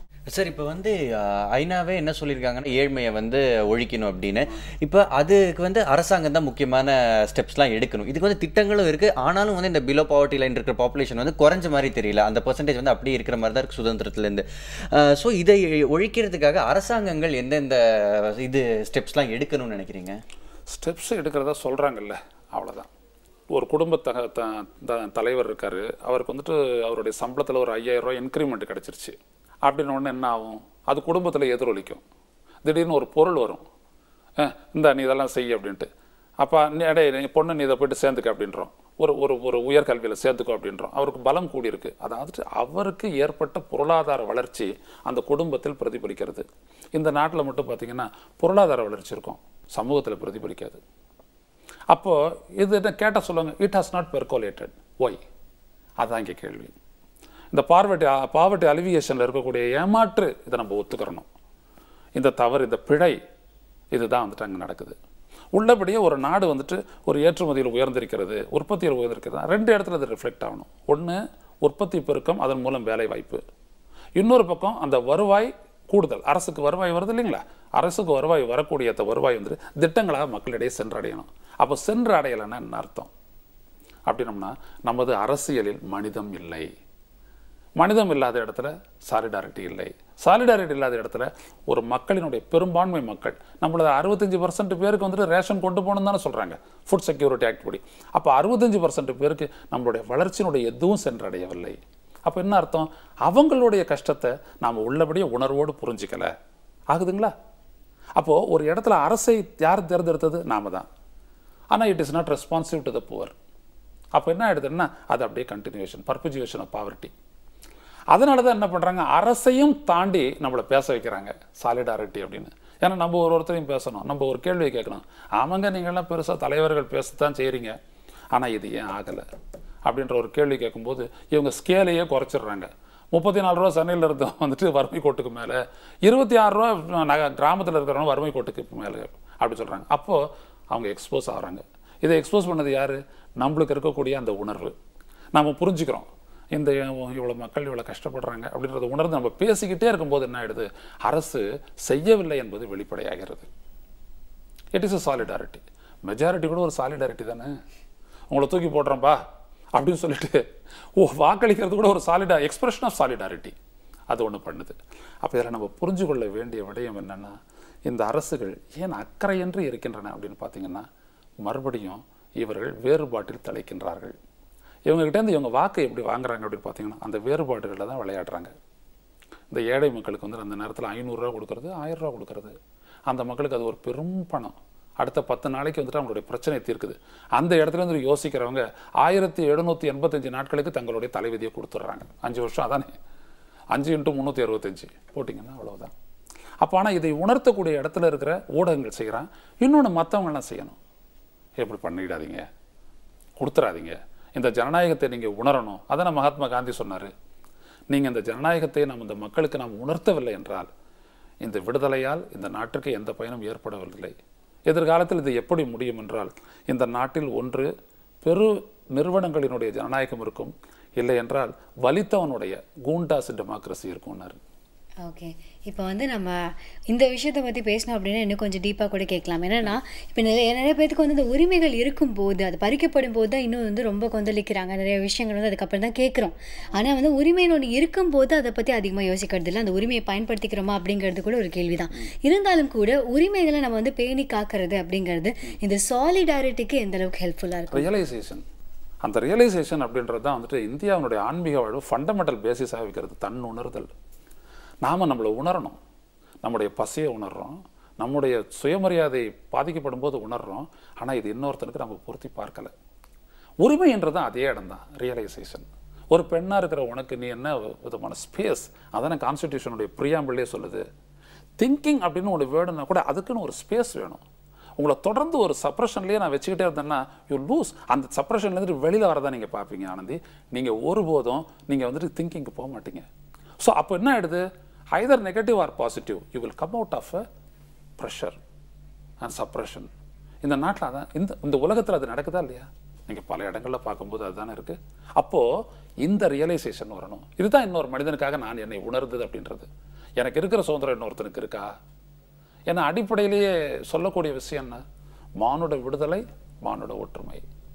அப்போ அந்த மானுட விடுதலைன்றது அடிப்படை உரிமை தானே அரசியல் சம உரிமை. இந்த சம அப்படின்றதான் சமதா அப்படின்றதே சொல்றாங்க அவங்க. இதே மாதிரி சார் இப்போ நம்ம எல்லாம் ஒத்துமையா சாலிடாரிட்டியோட இருந்தோம்னா இது வந்து வருங்காலத்துக்கு வந்து எப்படி அமையும்? தன்னலத்தை மறந்தவர்களால் தான் இந்த உலகத்தில் பலதும் படைக்கப்பட்டிருக்கிறது. தன்னலத்தை யோசித்த சுயநலவிகளால் இந்த நாட்டில் ஏற்பட்டிருப்பதெல்லாம் ஒற்றுமையின்மையும் இழப்பும் தான். நீங்கள் எடுத்து பாருங்க. உங்கள் குடும்பத்தில் கூட எடுத்து பாருங்க. ஏதாவது ஒரு ஒரு மாமா ஒரு பெரியப்பா உங்கள் அப்பா இல்லாத இடத்துல ஐ மீன் ஒரு ஒரு மனிதன் என்ற இடத்துல பார்த்தீங்கன்னா அவர் வந்துட்டு தன்னையே கொடுத்துருப்பாரு. ஆனால் அவரை வந்துட்டு நம்ம பூஜிப்போம். ஏன் பூஜிக்கிறோம்? தன்னலத்தை அவர் மறந்துடுனார். நம்முடைய தலைவர்கள் அதானே செஞ்சாங்க. அவர் சம்பாதிச்ச சம்பாதனைக்கு வந்துட்டு அவர் சும்மா இருந்திருந்தான்னா வெள்ளைக்காரன் போனதுக்கு பிறகும் ஒரு அரசியலில் விளங்கியிருக்கலாம். வாவு சிதம்பரம் பிள்ளை அவர்கள். அவ்வளோ பெரிய வழக்கறிஞராக இருந்தவர் பெரும் பணக்காரராக இருந்தவர். வெள்ளைக்காரனுக்கு இணையாக அந்த நாட்டினுடைய கௌரவத்தை உயர்த்தணுன்றதுக்காக கப்பலோட்ட போய் சிறைப்பட்டு சிறையிலிருந்து வரும்போது எதுவுமே இல்லாதவராக இருந்தார். என் பிள்ளைக்கு ஒரு கிளர்க்கு வேலை வாங்கி தரீங்களா? கொஞ்சம் வாழ்க்கைக்கு நல்லா இருக்குமே அப்படின்னு அவர் சொல்கிறாரு தன்னுடைய மனைவியோடு முதலிரவு சுகத்தை கூட காணாத நிலையில் தான் வந்துட்டு கொடிகாத்த குமரன் வந்துட்டு கொடியோடு பிடிச்சிக்கிட்டு போகிறான் அவன் வந்தால் அவனுக்கு ஒரு மகிழ்ச்சியான வாழ்வு இருக்குது. இவன் போலன்னு அந்த நாட்டினுடைய சுதந்திரம் ஒன்று கெட்டு போட போகிறதில்ல ஆனால் தன்னுடைய எந்த இடத்த அவன் நீக்கிறான் பாருங்கள் அதாவது வேண்டாம். அது முக்கியம் அப்படின்னு நினைக்கிறான் பாருங்கள் அப்போ உங்களுடைய என்னுடைய எதிர்கால சுதந்திரத்தை நினைச்சு திருப்பூர் குமரன் வந்துட்டு கொடிய symbol of the Indian independence அவரோட. நம்மளுடைய பகத்சிங் எடுத்துக்கங்க. அவரை வந்துட்டு வெள்ளைக்காரன் டெரரிஸ்ட்னா நம்ம ஸ்டாம்ப் வெளியிடுறோம். அதில் என்ன ஒரு அடிப்படை அப்படின்னோம்னா ஆள் இல்லாத இடத்துல குண்டு வீசுறாரு அவர். உனக்கு எதிரான எதிர்ப்பு எனது வலிமையான எதிர்ப்புன்னு காட்டுறாரு. தூக்க முத்தமிடுறாரு. கண்ணை மட்டும் மூடிடாதுன்றாரு. என்னுடைய நாட்டை பார்த்து கொண்டே இருக்க வேண்டும். இவ்வளவு தன்னல மறுப்பாளர் இன்னும் நம்ம பேசிக்கிட்டே போகலாம் இதெல்லாம் விடுதலைக்கு முன்னாடி இருந்தது விடுதலை எப்பொழுது இருந்தது விடுதலைக்கு பின்னாலும் இருந்தது. ஒரு கட்டத்தில் தாங்கள் வகித்த பக பதவியை தக்க வைக்கணும்னு நினச்சாங்க பாருங்க. அந்த இடத்துல எல்லாமே சீரடியுது. அது வரைக்கும் இந்தியா அப்படின்றது சிம்பிள் ஆஃப் சாலிடாரிட்டி தான். நல்லா கவனிங்க. இந்த விடுதலை போராட்டத்தில் பார்த்தீங்க அப்படின்னோம்னா வந்துட்டு அந்த சாலிடாரிட்டி தான் வெளிப்பட்டுச்சு. ஆனால் அதுக்கப்புறம் பார்த்தீங்கன்னா இந்த டிஸ்இன்டகிரேஷன் எங்கே வருது அப்படின்னோம்னா என் நிலையை நான் தக்க வைத்துக் கொள்வேன் அப்படின்னு சொல்லும்போது அந்த இடம் போயிடுது ஓகே இப்போ வந்து ஒரு பக்கம் வந்து நம்ம மனுஷங்க கிட்ட இருக்கிற சாலிடாரிட்டி இதை பற்றி ரொம்ப அதிகமாக பேசிகிட்டு இருக்கோம். அண்ட் நம்மளும் கூட நிறைய இடத்துல வந்து குழுவாக செயல்பட்டு பல சாதனைகள்லாம் புரிஞ்சிருக்கோம். இந்த விடுதலை கூட அந்த மாதிரியான ஒரு எக்ஸாம்பிள் தான். ஸோ ஆனால் அந்த காலத்தில் வந்து தன்னோட ஹியூமன் அந்த சாலிடாரிட்டி அதையும் தாண்டி இயற்கையோடையும் சேர்ந்துருந்தாங்க நம்ம வந்து நேச்சரால் உருவாக்கப்பட்ட ஒருத்தர். ஸோ அதனால் நேச்சர் இல்லாமல் நம்மளால் வாழ முடியாது அப்படிங்கிறத உணர்ந்து வந்து அந்த இயற்கையோடு தான் வந்து வாழ்ந்தாங்க. பட் இப்போது நம்ம ஹியூமன் சாலிடாரிட்டிக்கு வந்து என்னென்னமோ பண்ணினாலும் நேச்சரோட மறுபடியும் ஒன்றி வாழ்கிறதுக்கான வாய்ப்பு நமக்கு அமையுமா? பெரிய கேள்வியை கேட்டுட்டீங்க சானந்தி. அது எதிர்பாராதது. பெரிய விஷயம் நீங்கள் சொன்னது. நம்மளை போயிட்டு மதர் நேச்சரோட நம்மளை இன்டகிரேட் பண்ணிட்டோம் அப்படின்னோம்னா தேர் லைஸ் த சால்வேஷன் அதுதானே சொன்னாங்க. ஒரு பசுமாட்டுக்கு ஏற்பட்ட ஒரு அவதி அவஸ்தை ஸ்ரீ ராமகிருஷ்ணருடைய உடம்புல எதிரொலிச்சுதுன்னாங்க. அப்படி இந்த நாட்டில் எவ்வளோ பெரிய சித்தர்கள் மகரிஷிகள் ரிஷிகள் அப்புறம் முனிவர்கள் எல்லாம் வாழ்ந்துருக்கிறாங்க. நாம் அதெல்லாம் படிக்கிறதே கிடையாது. நம்ம எடுத்தோடனே கோட்டு சூட்டை போட்டுட்டு சில ஆயிரங்களை மட்டுமே திங்க் பண்ணுறோம் ஆனால் இந்த இடத்துல இந்த இயற்கை அப்படின்றது தான் நம்மை பெற்றெடுத்த தாய். தண்ணீரை பற்றி பேசுகிறோம் மாசு மாசற்ற காற்றை பற்றி பேசுகிறோம் எதிர்காலத்தில் ஏற்படக்கூடிய இந்த கிளைமேட்டாலஜி அதனால ஏற் வானியலில் ஏற்படக்கூடிய மாற்றம் நம்மளை எப்படி பாதிக்கிறோம்? ஆனால் இதை காப்பாற்றுறதை பற்றி நம்ம யோசிக்கவே இல்லை. இதை காப்பாற்றுறதுக்கு நம்ம ஒன்றுமே செய்ய வேணாம். அதற்குரிய இடம் என்பதை எதுன்னு உணரணும். அப்போ அந்த இடத்துல அந்த scheme of things of nature அப்படின்னுவாங்க. படைப்பில் நமக்கு இருக்கக்கூடிய இடம் எது? அப்படின்றத நீங்கள் பார்க்கணும். தன்னை தாண்டி எதையும் சேர்த்துக்கொள்ளாது அதுதான் வந்துட்டு ஹார்மனி இதில் பேசணுமா இல்லை இடைவேளையில் பேசணுமா? ஹார்மனி இசைவு அப்படின்றது ஒன்று இறை இயற்கையில் எப்பொழுதுமே இருக்கும். ஒன்று இன்னொன்றத்தை பாதிக்காது. ஒன்றினுடைய வளர்ச்சி இன்னொருடைய வளர்ச்சியை பாதிக்காது. ஒரு மரத்தின் மேலே ஒரு கொடி படரும் மரத்துக்கு கீழே புல் முளைக்கும். மரத்துக்கு அப்பால் இன்னொரு மரம் இருக்கும். அந்த மரத்தினுடைய எந்த பகுதியை நீ வெட்டிக்கிட்டாலும் நீங்கள் அது வளரும். ஆனால் வேற வெட்டுற வரைக்கும் அது சகிச்சிக்கும். ஆனால் நம்ம இப்போ வேற குறி வச்சுட்டோம். இதுதான் மொத்த நாசத்துக்கும் அடிப்படையாகுது. எப்படி பார்த்தாலும் அந்த இயற்கையினுடைய ஒரு சைக்கிளுக்கு எதிராக எதுவுமே போகிறதில்ல மாபெரும் கடல். அந்த கடலில் சூரிய ஒளி படுற ஒரே காரணத்தினாலே நம்மளுக்கு வந்துட்டு அந்த நீராவி ஆவியாகி நீராவியாகி ஆவிக்கு. மேகமாகி மேகம். மழை தந்து மழை ஆறுகளில் வந்துட்டு ஆறுகள். உடனே அங்கே ஒரு அணையை போட்டு நம்மளுடைய மனித வேலையை காட்டிடுறோம். அந்த ஆற்றில் நீர் ஓடிக்கொண்டே இருக்க வேண்டும். அப்படி ஓடினதுனால தானே கவிஞர் எல்லாம் பிறந்தாங்க. இப்போ இருக்கிற ஆற்று முன்னாடி போயிட்டு உட்காந்து என்ன ஆகும்? வெறும் மண்ணை பார்த்து. சக்தி கூட அதை பற்றி பேசினாருன்னு நினைக்கிற மணர் கொள்ளையை பற்றி அப்படி அது ஆற்றுக்கொள்ளை நீர் ஒன்றா தானே ஆறு. மீ அது மண்ணெல்லாம் எடுத்துட்டு தண்ணியே வராத ஒரு நிலையை அப்படியே நம்ம காப்பாற்றணும் அப்படின்னோம்னா அது என்ன ஆகுது? அப்போ நீங்கள் இந்த இடத்துல ஒரு பேலன்ஸு சமம் சம நிலையை வந்துட்டு நீங்கள் வணங்கணும். ஆற்றுல நீரையும் ஓடிக்கிட்டு இருக்கணும். அணையை கட்டி நம்ம அதை பயன்படுத்தவும் செய்யணும் அப்படின்ற அந்த உண்மையான ஒரு கொள்கைக்கு வரணும். அது வரமாட்டேங்கிறாங்க. நான் கர்நாடகா நான் தமிழ்நாடு நான் கேரளா அப்படின்றாங்க. இன்னும் கொஞ்சம் மேலே போனீங்க அப்படின்னா ஆந்திரா கர்நாடகா. இன்னும் கொஞ்சம் மேலே போனீங்கன்னா மராட்டியம் கர்நாடகா. இன்னும் கொஞ்சம் மேலே போனீங்க அப்படின்னோம்னா யமுனா நதியினுடைய அந்த கெனாலில் பகிர்வதில் ராஜஸ்தானுக்கும் பஞ்சாபுக்கும் பிரச்சனை. ஏன்? உனக்கு பசிக்கிறது அவனுக்கும் பசிக்கும். உன் நெல் உன் வயலில் நெல் விளையணும்னா அவன் வயல்லையும் கோதுமை விளையணும் அப்படின்றத ஏற்றுக்கிட்டாங்க அப்படின்னோம்னா இந்த இயற்கையை பகிர்ந்து கொள்வதில் கூட நாம் பயன்பெறுவோம் இல்லையா? ஓகே நிறைய விஷயங்கள் பேசிருக்கோம் ஆனந்தி அதாவது அடிப்படை இந்த சாலிடாரிட்டிக்கு வந்து முக்கியமான ஒரு விஷயம் என்னதுன்னா வந்து நம்ம வந்து செல்ஃபிஷாக இல்லாமல் மற்றவங்களை பற்றி நினைக்கிறது. இதுக்கு வந்து நிறைய விஷயங்கள் நம்மளால பண்ண முடியலைன்னா கூட இப்போ வந்து நம்ம ரோட்டில் போயிட்டு யாராவது ஒருத்தர் ஏதாவது ஒரு சின்ன உதவி கேட்டால் கூட தெரியாதவங்க உதவி கேட்டால் அது வந்து செஞ்சால் நமக்கு வந்து ஒரு சந்தோஷம் இருக்கும் தெரியுமா? அதுலேருந்து ஆரம்பிக்கும் இந்த சாலிடாரிட்டி ஆமாம் சீரியஸாக முதல்ல வந்து அவர் சொன்ன மாதிரி முதல்ல நம்மள நம்ம உணரணும் அப்படின்னு சொன்னாங்க. ஸோ நமக்கு ஒரு விஷயம் தேவைப்படுது. நான் நடக்கிறதுக்கு எனக்கு ரோடு வேணும். எனக்கு குடிக்கிறதுக்கு தண்ணி வேணும். எனக்கு சாப்பிட்றதுக்கு உணவு வேணும் அப்படின்னா அப்படிதான் எதிரில் இருக்கவங்களுக்கும் அப்படிங்கிற மாதிரியான ஒரு தாட் வந்தாலே இந்த விஷயம் ஒன்றாயிடும் அப்படின்னு நினைக்கிறேன் இல்லையா? ஆமாம் கரெக்டாக இன்னைக்கு வந்து நிறைய விஷயங்கள் சாலிடாரிட்டியை பற்றி பேசியிருக்கோம். எல்லாத்தையும் பற்றியும் பொறுமையாக டீட்டெயில் எக்ஸ்பிளைன் பண்ணதுக்கு ரொம்ப ரொம்ப நன்றி ரொம்ப நன்றி. ரொம்ப நன்றி சார் இதே மாதிரி தொடர்ந்து நிறைய விஷயங்கள் பேசலாம். புதிய யுகம் எஃப்எம் ஸ்டேஷனில் இது. இனியவை இன்று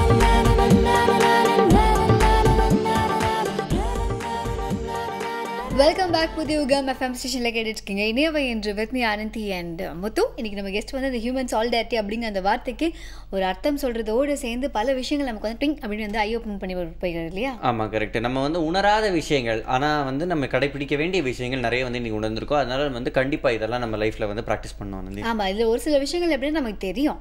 இது வந்து நமக்கு ரொம்ப பரவலாவே நம்ம பார்த்துருக்க விஷயங்கள் தான். பல பேர் சொல்லி கேட்டிருக்கோம் பட் ஸ்டில் இன்னும் நம்ம வந்து நடைமுறை கொண்டு வரல இல்ல? ஆமாம் கரெக்ட் சாலிடாரிட்டின்றது முக்கியம். அதனால நம்ம வந்து இன்னும் ஒத்துமையாக இன்னும் நல்லா பலமாக செயல்படணும் ஆமா இப்போ நம்ம ரெண்டு பேரும் சேர்ந்து ஒற்றுமையா நம்ம ஆறுமுகம் சாரை வந்து வரவேற்க போறோம். பிகாஸ் இன்னைக்கு தமிழறிப்போம் பகுதியில என்ன ஸ்பெஷலா வச்சிருக்காரு அப்படிங்கறத பார்த்துடலாமா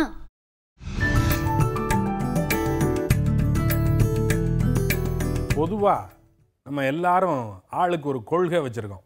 இதெல்லாம் என்னுடைய கொள்கை. நான் இதுபடித்தான் செய்வேன் இப்படித்தான் நடந்துக்குவேன் அப்படிங்கிற விஷயத்த எல்லாருக்கும் நம்ம பறையடித்து சொல்லிடுறோம். இப்படி தான் இருப்பேன். நான்னா வேட்டி சட்டை கட்டுவேன்னா வேட்டி சட்டை தான் கட்டுவேன். இது செய்ய மாட்டேன்னா இது செய்ய மாட்டேன். இதெல்லாம் என் கொள்கை. அப்படின்னெல்லாம் நம்ம தம்பட்டம் அடிச்சுக்கிட்டே இருக்கோம். ஆனால் இதுபடி தான் நம்ம நடந்துக்கிறோமா?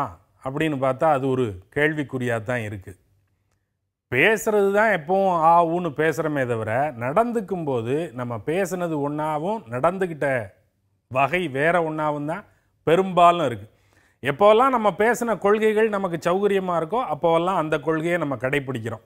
எப்போவெல்லாம் அது நமக்கு சௌகரியமாக இல்லையோ அப்போவெல்லாம் அதை கை கழுவி விட்டுறோம். மறந்துடுறோம். அப்படி ஒரு கொள்கை இருக்குங்கிறதே நமக்கு நினைவில் இருக்கிறது இல்லை என்னப்பா அப்படி பேசின அன்னைக்கு இன்றைக்கி இப்படி செய்கிறியே அப்படின்னு யாராவது கேட்டால் நம்ம என்ன சொல்லுவோம்? இல்லை அது ஒரு சின்ன நிர்பந்தம் வீட்டில் ஒத்துக்க மாட்டேன்ட்டாங்க. வேறு வழி இல்லாமல் போச்சு. என்ன இருந்தாலும் சமூகத்தோட ஒத்து வாழணும் இல்லையா? அதனால் கொஞ்சம் சின்ன சின்ன இந்த மாதிரியான சரி பண்ணல்களெல்லாம் அவசியமாக தானே இருக்குது என்ன பண்ணுறது அப்படின்னு சொல்லி சமாளிச்சுட்டு போயிடுவோம் நம்ம பேசுகிற கொள்கைகளின்படி தான் நடந்துக்கிறோமா அப்படிங்கிறது ஒரு பெரிய கேள்விக்குறி தான் ஒரு பௌத்த மடாலயம் ஒன்று ஒரு மலை கிராமத்தில் இருந்துச்சு. ரொம்ப தூரத்தில் இருக்கிற மலை கிராமம். இந்த மலை கிராமத்தில் அந்த மடாலயம் அந்த மடாலயத்தில் ரெண்டே ரெண்டு சாமியார்கள். ஒருத்தர் தலைமைச் சாமியார் இன்னொருத்தர் அவருடைய சீடப்பிள்ளை. இவங்க ரெண்டு பேர் தான் இருக்காங்க. தலைமை சாமியாருக்கு ரொம்ப வயசாயிருச்சு. ஏறத்தாழ போய் சேர்ந்துருவார் அப்படிங்கிற கட்டத்தில் இருக்கார். அப்போ அவருக்கு என்ன தோணுச்சு அப்படின்னா நம்ம இன்னும் கொஞ்ச நாளில் போயிடுவோம் நமக்கு அடுத்தபடியாக இங்கே ஒரு தலைமை சாமியார் ஒருத்தர் வேணும். அப்போ ஒரு தகுதியான தலைமை சாமியாரை அனுப்பி வைக்க சொல்லி நம்ம தலைமை மடத்தில் சொல்லணும் அப்படின்னு நினச்சி தன்னுடைய சீடனை கூப்பிட்டு எப்பா எவ்வளோ காலம் நான் இருப்பேன்னு தெரியல. நீ போய் நம்ம தலைமை மடத்தில் ஒரு நல்ல தகுதியான ஆளை அடுத்த தலைமை சாமியாராக நியமிக்க சொல்லி கூட்டிக்கிட்டு வா அப்படின்னு சொல்லி சீடனை அனுப்பிச்சார். சீடன் தலைநகரத்துக்கு போகிறான் தலைநகரம் ரொம்ப தூரத்தில் இருக்குது தலைமை மடம் அங்கே இருக்குது அங்கேருந்து இந்த சாமியாரை கூட்டிகிட்டு வரணும். இவன் போகிறான் போய் அங்கே இருக்கிற தலைமை சாமியார்கிட்ட இந்த சங்கதியை சொன்னான். சொல்லி ஐயா எங்களுக்கு ஒரு தகுதியான ஆளை தலைமை சாமியாராக நீங்கள் அனுப்பிச்சி வைங்க அப்படின்னு சொல்கிறான் தலைமை சாமியார் சொன்னார் இங்கே பாரு இங்கே நூறு பேர் இருக்கான். இந்த நூறு பேரையும் நாளை காலையில் நீ கூட்டிகிட்டு போ. ஒன்றும் பிரச்சனையே இல்லை அப்படின்னாரு. சீடப்புள்ள பயந்துட்டான் நூறு பேரா? ஐயா நூறு பேரை கூட்டிகிட்டு போய் நாங்கள் அவங்களுக்கு சோறு கூட போட முடியாதுங்க. ரொம்ப சின்ன மடம் அது. நாங்களே ரெண்டு பேர் தான் இருக்கோம். நூறு பேரை கூட்டிகிட்டு போய் நாங்கள் என்ன செய்கிறது அப்படின்னா தலைமைச் சாமியார் சொன்னார் ஒன்றும் யோசிக்காத. நூறு பேரோட போ. ஆனால் நீ உன்னுடைய மடத்துக்கு போய் சேரும்போது ஒரே ஒருத்தன் தான் மிச்சம் இருப்பான். அவன் தான் தகுதியான ஆள். அவனை தலைமைச் சாமியாராக நீங்கள் நியமிச்சுக்குங்க. அப்படின்னு சொன்னார். அவர் சொன்ன மாதிரி அடுத்த நாள் நூறு பேரோட இந்த சீடச்சாமியார் கிளம்பி தன்னுடைய மலை கிராமத்துக்கு போகிறான் ஒரு ஆள் தலைமை நடத்தி போகிறான் நூறு பேர் பின்னாடி வந்துக்கிட்டே இருக்காங்க. போகிற வழியில் இந்த சம்மந்தப்பட்டவங்க எல்லாருக்கும் அவன் அவனுடைய சொந்த ஊர் போகிற வழிகளில் இருக்குது அப்போ எல்லா பையலும் அங்கங்கே அம்மாவை பார்த்துட்டு வரேன் ஆட்டுக்குட்டியை பார்த்துட்டு வரேன்னு அங்கங்கே கழட்டிக்கிட்டான். நூறு பேராக போனவங்க குறைஞ்சி குறைஞ்சி அந்த கூட்டம் தேஞ்சு தேஞ்சு ஆறேழு பேர் அப்படிங்கிற நிலைமைக்கு வந்து சேர்ந்துருச்சு. இந்த இடத்துல ஒரு நகரத்தில் ஒரு ராஜாவினுடைய சேவகர்கள் வந்து இந்த கூட்டத்தை வழிமறிக்கிறாங்க. வழிமறித்து அப்பா ராஜா மகளுக்கு கல்யாணம் ஆக போகுது. இதுக்கு சடங்குகளெல்லாம் செஞ்சு வைக்கிறதுக்கு அஞ்சு சாமியார் வேணும். நீங்கள் ஆறு ஏழு பேர் இருக்கீங்க. அதில் அஞ்சு பேர் என் கூட வா அப்படின்னா. ராஜாவினுடைய உத்தரவு மறுக்க முடியாது அப்படின்னு சொல்லி அதில் ஒரு அஞ்சு பேர் அந்த ராஜாவினுடைய சேவகர்களோட போயிட்டாங்க. இப்போ மிச்சம் இருக்கிறது ரெண்டு பேர். யார்? அந்த சீட சாமியார் ஒருத்தன். கூட வந்த தலைமை மடத்து சாமியார் ஒருத்தன். ரெண்டு பேர் மட்டும் போய்கிட்டே இருக்காங்க. இந்த பயணம் தொடருது. இதில் என்ன ஆச்சு அப்படின்னா இன்னும் கொஞ்சம் தூரம் போனதுக்கப்புறம் ஒரு அறிஞன் ஒருத்தன் வழிமறிக்கிறான். ஒரு தர்க்கவியல் அறிஞன். அவன் வந்து இவங்களுக்கு ஒரு சவால் விடுறான். டேய் நீங்கள் ரெண்டு பேரும் பௌத்த சாமியார்கள் தானே? பௌத்தத்தில் சொல்லப்பட்ட தத்துவங்கள் எல்லாமே பொய் தப்பு அப்படின்னு நான் சொல்கிறேன் இதை மறுக்கிறதுக்கு உங்களுக்கு தெம்பு இருந்துச்சுன்னா மறுத்துட்டு அதுக்கப்புறம் அடுத்த அடியை எடுத்து வை. அப்படின்னா கூட வந்த சாமியாருக்கு ரொம்ப கோபம் வந்துடுச்சு. அது எப்படியப்பா நீ பௌத்தத்தில் இருக்கிறதையெல்லாம் தப்புன்னு சொல்லுவேன் பௌத்தம் எவ்வளோ சிறந்த தத்துவம் தெரியுமா? எவ்வளோ சிறந்த சமயம் தெரியுமா? அதை பற்றி உனக்கு என்ன தெரியும்? அதை பற்றி உனக்கு பேசுகிறதுக்கு என்ன தகுதி இருக்குது ஆய் உயின்னு எகிர ஆரம்பிச்சிட்டான். நம்ம சீடச்சாமியார் ஏய் அமைதியாயிரப்பா. சண்டை போடாத. பௌத்த மதத்தினுடைய முக்கியமான செய்தி என்ன? நம்முடைய முக்கியமான கொள்கை என்ன? நம்ம அமைதியாக இருக்கணுங்கிறது தான். நம்ம அன்போடு இருக்கணுங்கிறது தான். நம்ம அறிவால் எல்லாத்தையும் வென்றெடுக்கணுங்கிறது தான். ஆகையினால இந்த சண்டை சச்சரவு இதுக்கெல்லாம் போகாத. நீ வா நம்ம போவோம். நமக்கு அங்கே வேலை இருக்குது மலை கிராமத்தில் சாமியார் காத்துக்கிட்டு இருப்பார். ஆனால் அவன் கேட்க மாட்டேங்கிறான். கூட வந்த ஆள். அட போப்பா நம்ம சமயத்தை இவ்வளோ மோசமாக பேசுகிறான் நம்முடைய கொள்கையை இவ்வளோ மட்டம் தட்டுறான். இவனை என்ன சங்கதின்னு கேட்காம நம்ம போனோம்னா அப்புறம் நம்ம படித்த படிப்புக்கும் நம்ம வாழ்ந்த வாழ்க்கைக்கும் நம்முடைய கொள்கைக்கும் துறவுக்கும் என்னப்பா அர்த்தம் இருக்குது அதனால் நான் இந்த சண்டையை போடாமல் வரமாட்டேன். நீ போ அப்படின்னா. அவசரம்னா நீ போ அப்படிங்கிறான். வேறு வழியே இல்லை. அவனை சமாதானம் பண்ணவே முடியல. அவன் அந்த ஆளோட சண்டைக்கு போயிட்டான். வேறு கதி இல்லாமல் நம்முடைய சீடச்சாமியார் அவன் மட்டும் ஒத்தாளா? தன்னுடைய மடத்துக்கு திரும்பி போகிறான் திரும்பி போனால் தலைமை சாமியார் என்னப்பா ஆளை கூட்டிகிட்டு வான்னு சொன்னேன். நீ ஒருத்தன் தான் வந்திருக்க. அப்படின்னாரு. அவன் சொன்னான் ஐயா இந்த மாதிரி நூறு பேரோட வந்தேன். நூறு பேரும் வழியில் காணாமல் போயிட்டாங்க. ஆனால் எனக்கு ஒரே ஒரு வருத்தம் தான். அந்த பெரிய சாமியார் என்ன சொன்னார்? நீ ஊருக்கு போய் சேரும்போது ஒரே ஒருத்தன் இருப்பான். அவன் தான் தகுதியானவன். அவனை தலைமை சாமியாராக நியமிச்சுக்க சொல்லி உங்கள் ஐயாட்ட சொல்லுன்னு சொல்லி அனுப்பிச்சாரு. ஒருத்தன் கூட மிஞ்சலே ஐயா அப்படின்னு இவன் வருத்தப்பட்டான் அந்த சீடச்சாமியார் அப்போ அந்த தலைமை சாமியார் சொன்னார் இதுக்காகவெல்லாம் வருத்தப்படாத. அவர் சொன்னது உண்மையிலேயே நடந்திருக்கு. அப்படின்னா எங்கேயா நடந்துச்சு? அதான் ஒருத்தனும் வரலையே. நூறு பேரும் காணாமல் போயிட்டானே வழியில். அப்படின்னு இவன் கேட்டான்.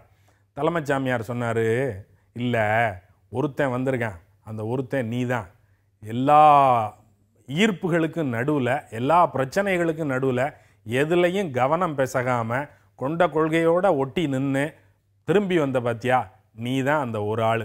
நீ தான் இந்த நாக்காளியில் உட்கார்றதுக்கு தகுதியானவன். எனக்கு அடுத்த தலைமைச் சாமியார் நீ தான் அப்படின்னு சொல்லி அவனை தலைமைச் சாமியாராக நியமித்தார் இப்போ இதில் என்ன சிக்கல் அப்படின்னா ஒரு கொள்கையை காப்பாற்றுறதுக்காக நூறு பேர் கிளம்புனேன் அப்படின்னு வச்சுக்கிட்டா அதில் ஒரே ஒருத்தன் தான் கொண்ட கொள்கையை நிறைவேற்றுற இடத்துக்கு போய் சேர்றான். நூறு பேர் கிளம்புனா ஒருத்தன் தான் அடையிறான் தன்னுடைய இலக்கை. படிக்கிறது ராமாயணம் இடிக்கிறது பெருமாள் கோயில் அப்படின்னு ஒரு பழமொழி நம்ம நாட்டில் சொல்லுவாங்க. படிக்கிறது ராமாயணமாக இருக்கணுமா இல்லை இடிக்கிறது பெருமாள் கோயிலாக இருக்கணுமாங்கிறதெல்லாம் இல்லை விஷயம். பெருமைக்கு அதையும் வசதிக்கு இதையும் செய்யக்கூடாது அப்படிங்கிறது தான் சங்கதி. ஒரு கொள்கை அப்படின்னு நம்ம பேசினா அந்த கொள்கையில் ஊனி நிற்கணும் பேசுனதை தான் செய்யணும். எதை நீங்கள் புகழ்ந்து பேசுகிறீங்களோ அதை செயல்படுத்துங்க. செயல்படுத்தாமல் வெறுமனை புகழ்ந்து மட்டுமே பேசிக்கிட்டு இருக்கிறதுனால ஒரு பயனும் கிடையாது. அப்படிங்கிற செய்தியைத்தான் திருவள்ளுவரின் தேமதுர தமிழ் சொல்லுகிறது. புகழ்ந்தவை போற்றிச் செயல் வேண்டும் செய்யாது இகழ்ந்தார்க்கு எழுமையும் இல். இப்போ வந்து நமக்கு ஒரு விஷயத்துக்கு ரொம்பவே டைம் ஆயிடுச்சு. அதாவது இந்த நேரத்தில் ஒரு வெப்சைட் சொன்னால் மட்டும்தான் இப்போ எல்லாரும் சிஸ்டம் ஓப்பன் பண்ணி இன்டர்நெட்லாம் ஓப்பன் பண்ணி பிரிங்னு உட்காந்துருப்பாங்க இல்லை மொபைல் வந்து நெட் ஓப்பன் பண்ணி உட்காந்துருப்பாங்க என்ன வெப்சைட் இன்னைக்கு சொல்ல போறீங்க? இன்னைக்கு வந்து essential life skills dot net ரொம்ப முக்கியமான வெப்சைட் ஃபர்ஸ்ட் நான் ஸ்பெல்லிங்கை சொல்லிடுறேன். இஎஸ்எஸ்இஎன்டிஐஏஎல் எல்ஐஎஃப்இ எஸ்கேஐஎல்எல்எஸ் டாட் என்இடி ஓகே மண்ணில் இந்த காரம் அந்த அளவுக்கு மூச்சு வாங்குது. இல்லை ஸ்கூல் ஸ்டூடெண்ட் அவங்க பார்க்குற மாதிரி இருக்கு. ஏன் சின்ன முத்தாவும் சொல்லுங்க ஸ்பெல்லிங் சொல்லுங்க அப்படின்றதுக்கப்புறம் ஏன் சொல்கிற மாதிரி இருக்கு. சரி ஓகே இந்த வெப்சைட்ல என்ன இருக்கு? இந்த வெப்சைட்ல என்ன இல்லைன்னு கேளுங்க. அதாவது நம்ம வந்து பர்சனலாக நம்மளோட பர்சனாலிட்டியை வளர்த்து கொள்றதுக்கான எல்லா ஸ்கில்ஸும் இந்த வெப்சைட்ல இருக்கு. அதாவது நம்ம வந்து கிரிட்டிக்கல் திங்கிங் எல்லா எல்லாத்த பற்றியும் நம்ம வந்து இந்த பகுத்தறிவோட யோசிக்கணும் அப்படி இந்த ரேஷனல் திங்கிங் இந்த கிரிட்டிக்கல் திங்கிங் அதுக்கெல்லாம் உதவுற எக்ஸசைசஸ்லாம் கூட இந்த வெப்சைட்ல இருக்கு. அது மட்டும் இல்லாமல் ஃபிலாசபர்ஸ் கார்னர் இப்போ ஒரு விஷயத்தை பற்றி ஃபிலாசபிக்கலாக நம்ம யோசிக்கணும்னா அதுக்கு உண்டான பகுதி இருக்கு. அது ஒரு ப்ரொடக்டிவ் மைண்ட் செட் நம்ம பிரெயின் பவர் எப்படிலாம் இன்க்ரீஸ் பண்ணும் அப்படின்றதுக்கான விஷயங்கள் கூட இதில் இருக்கு. அது மட்டும் இல்லாமல் இப்போ வந்து இந்த டீம் ஒர்க்காக செயல்படுறது சாலிடாரிட்டி அங்கே தான் வருது. டீம் ஒர்க்காக செயல்படுறது எவ்வளோ முக்கியம்? இதை பற்றி டீம் ஒர்க்கை நிறைய செயல்பட்டவங்க இதில் வந்து பேசியிருக்காங்க. அது மட்டும் இல்லாமல் நம்ம இப்போ கான்வர்சேஷன் டெவலப்மெண்ட் ஏன்னா புதுசாக ஒரு இடத்துக்கு போய் நாலு பேர் இருப்பாங்க. அவங்களோட பேசணும்னு தோணும். நமக்குள்ள ஒரு கூச்சம் இருக்கும். என்ன பேசுறதுன்னு தெரியாது. அதை வந்து எப்படி எதிர்கொள்றதுன்னு போன்ற நிறைய விஷயங்கள் இந்த வெப்சைட்ல இருக்கு. ஓகே அப்போ இந்த வெப்சைட்டை பார்த்து ஏகாந்தம் அடைஞ்சு வாவ் இப்படி ஒரு வெப்சைட்டியா முத்து சொல்லியிருக்காரு அப்படின்னு யோசிச்சுட்டு இருக்கவங்கலாம் எப்படி உங்களை வந்து பாராட்டுறது? எப்படி பாராட்டுறதுன்னா வந்து feedback at Puthuyugam dot TV அப்படின்ற இமெயில் ஐடிக்கு போய் உங்களோட கருத்துக்களை நீங்க எங்களுக்கு அனுப்பலாம். அல்லது கீழே இப்போ தெரிஞ்சுட்டு இருக்க டோல் ஃப்ரீ நம்பருக்கு கால் பண்ணி இமீடியட்டாக முத்துக்கிட்டே ஃபோன் கொடுங்க அப்படின்லாம் சொல்லி கூட நீங்கள் வந்து பதிவு பண்ணலாம் உங்க கருத்துக்களை. அதுவும் கஷ்டம் அப்படின்னு நினைச்சீங்கன்னா இப்போ ஒரு அட்ரஸ் வந்துட்டு இருக்குல்ல அதுல வந்து டியர் ஆனந்தி யூஎஸ் ஒபீடியன்ட்னு போட்டு நீங்க அவங்களுக்கு லெட்டர் கூட எழுதலாம். ஆமா எங்க ரெண்டு பேருக்கு தான் கொடுக்கணும் இல்லை. நாங்கள் வந்து டீமாக செயல்படுறோம் அப்படிங்கறனால எங்க கேமராமேன் எங்களோட ப்ரொடியூசர்ஸ் இப்படி யாருக்கு வேணாலும் நீங்கள் கடிதம் எழுதலாம். ஆமா எங்களை தோல்ல தட்டுறதா இருந்தாலோ தலையில குட்டுறதா இருந்தாலோ இமெயில் மெயில் ஃபோன் எது மூலமா வேணாலும் அனுப்புங்கள். ஆமா இப்போ நம்ம அப்படியே கிளம்பிக்கிறோம். புதிய உகம் எஃப்எம் ஸ்டேஷன்ல இது இனியவை இன்று முத்து ஆனந்தி.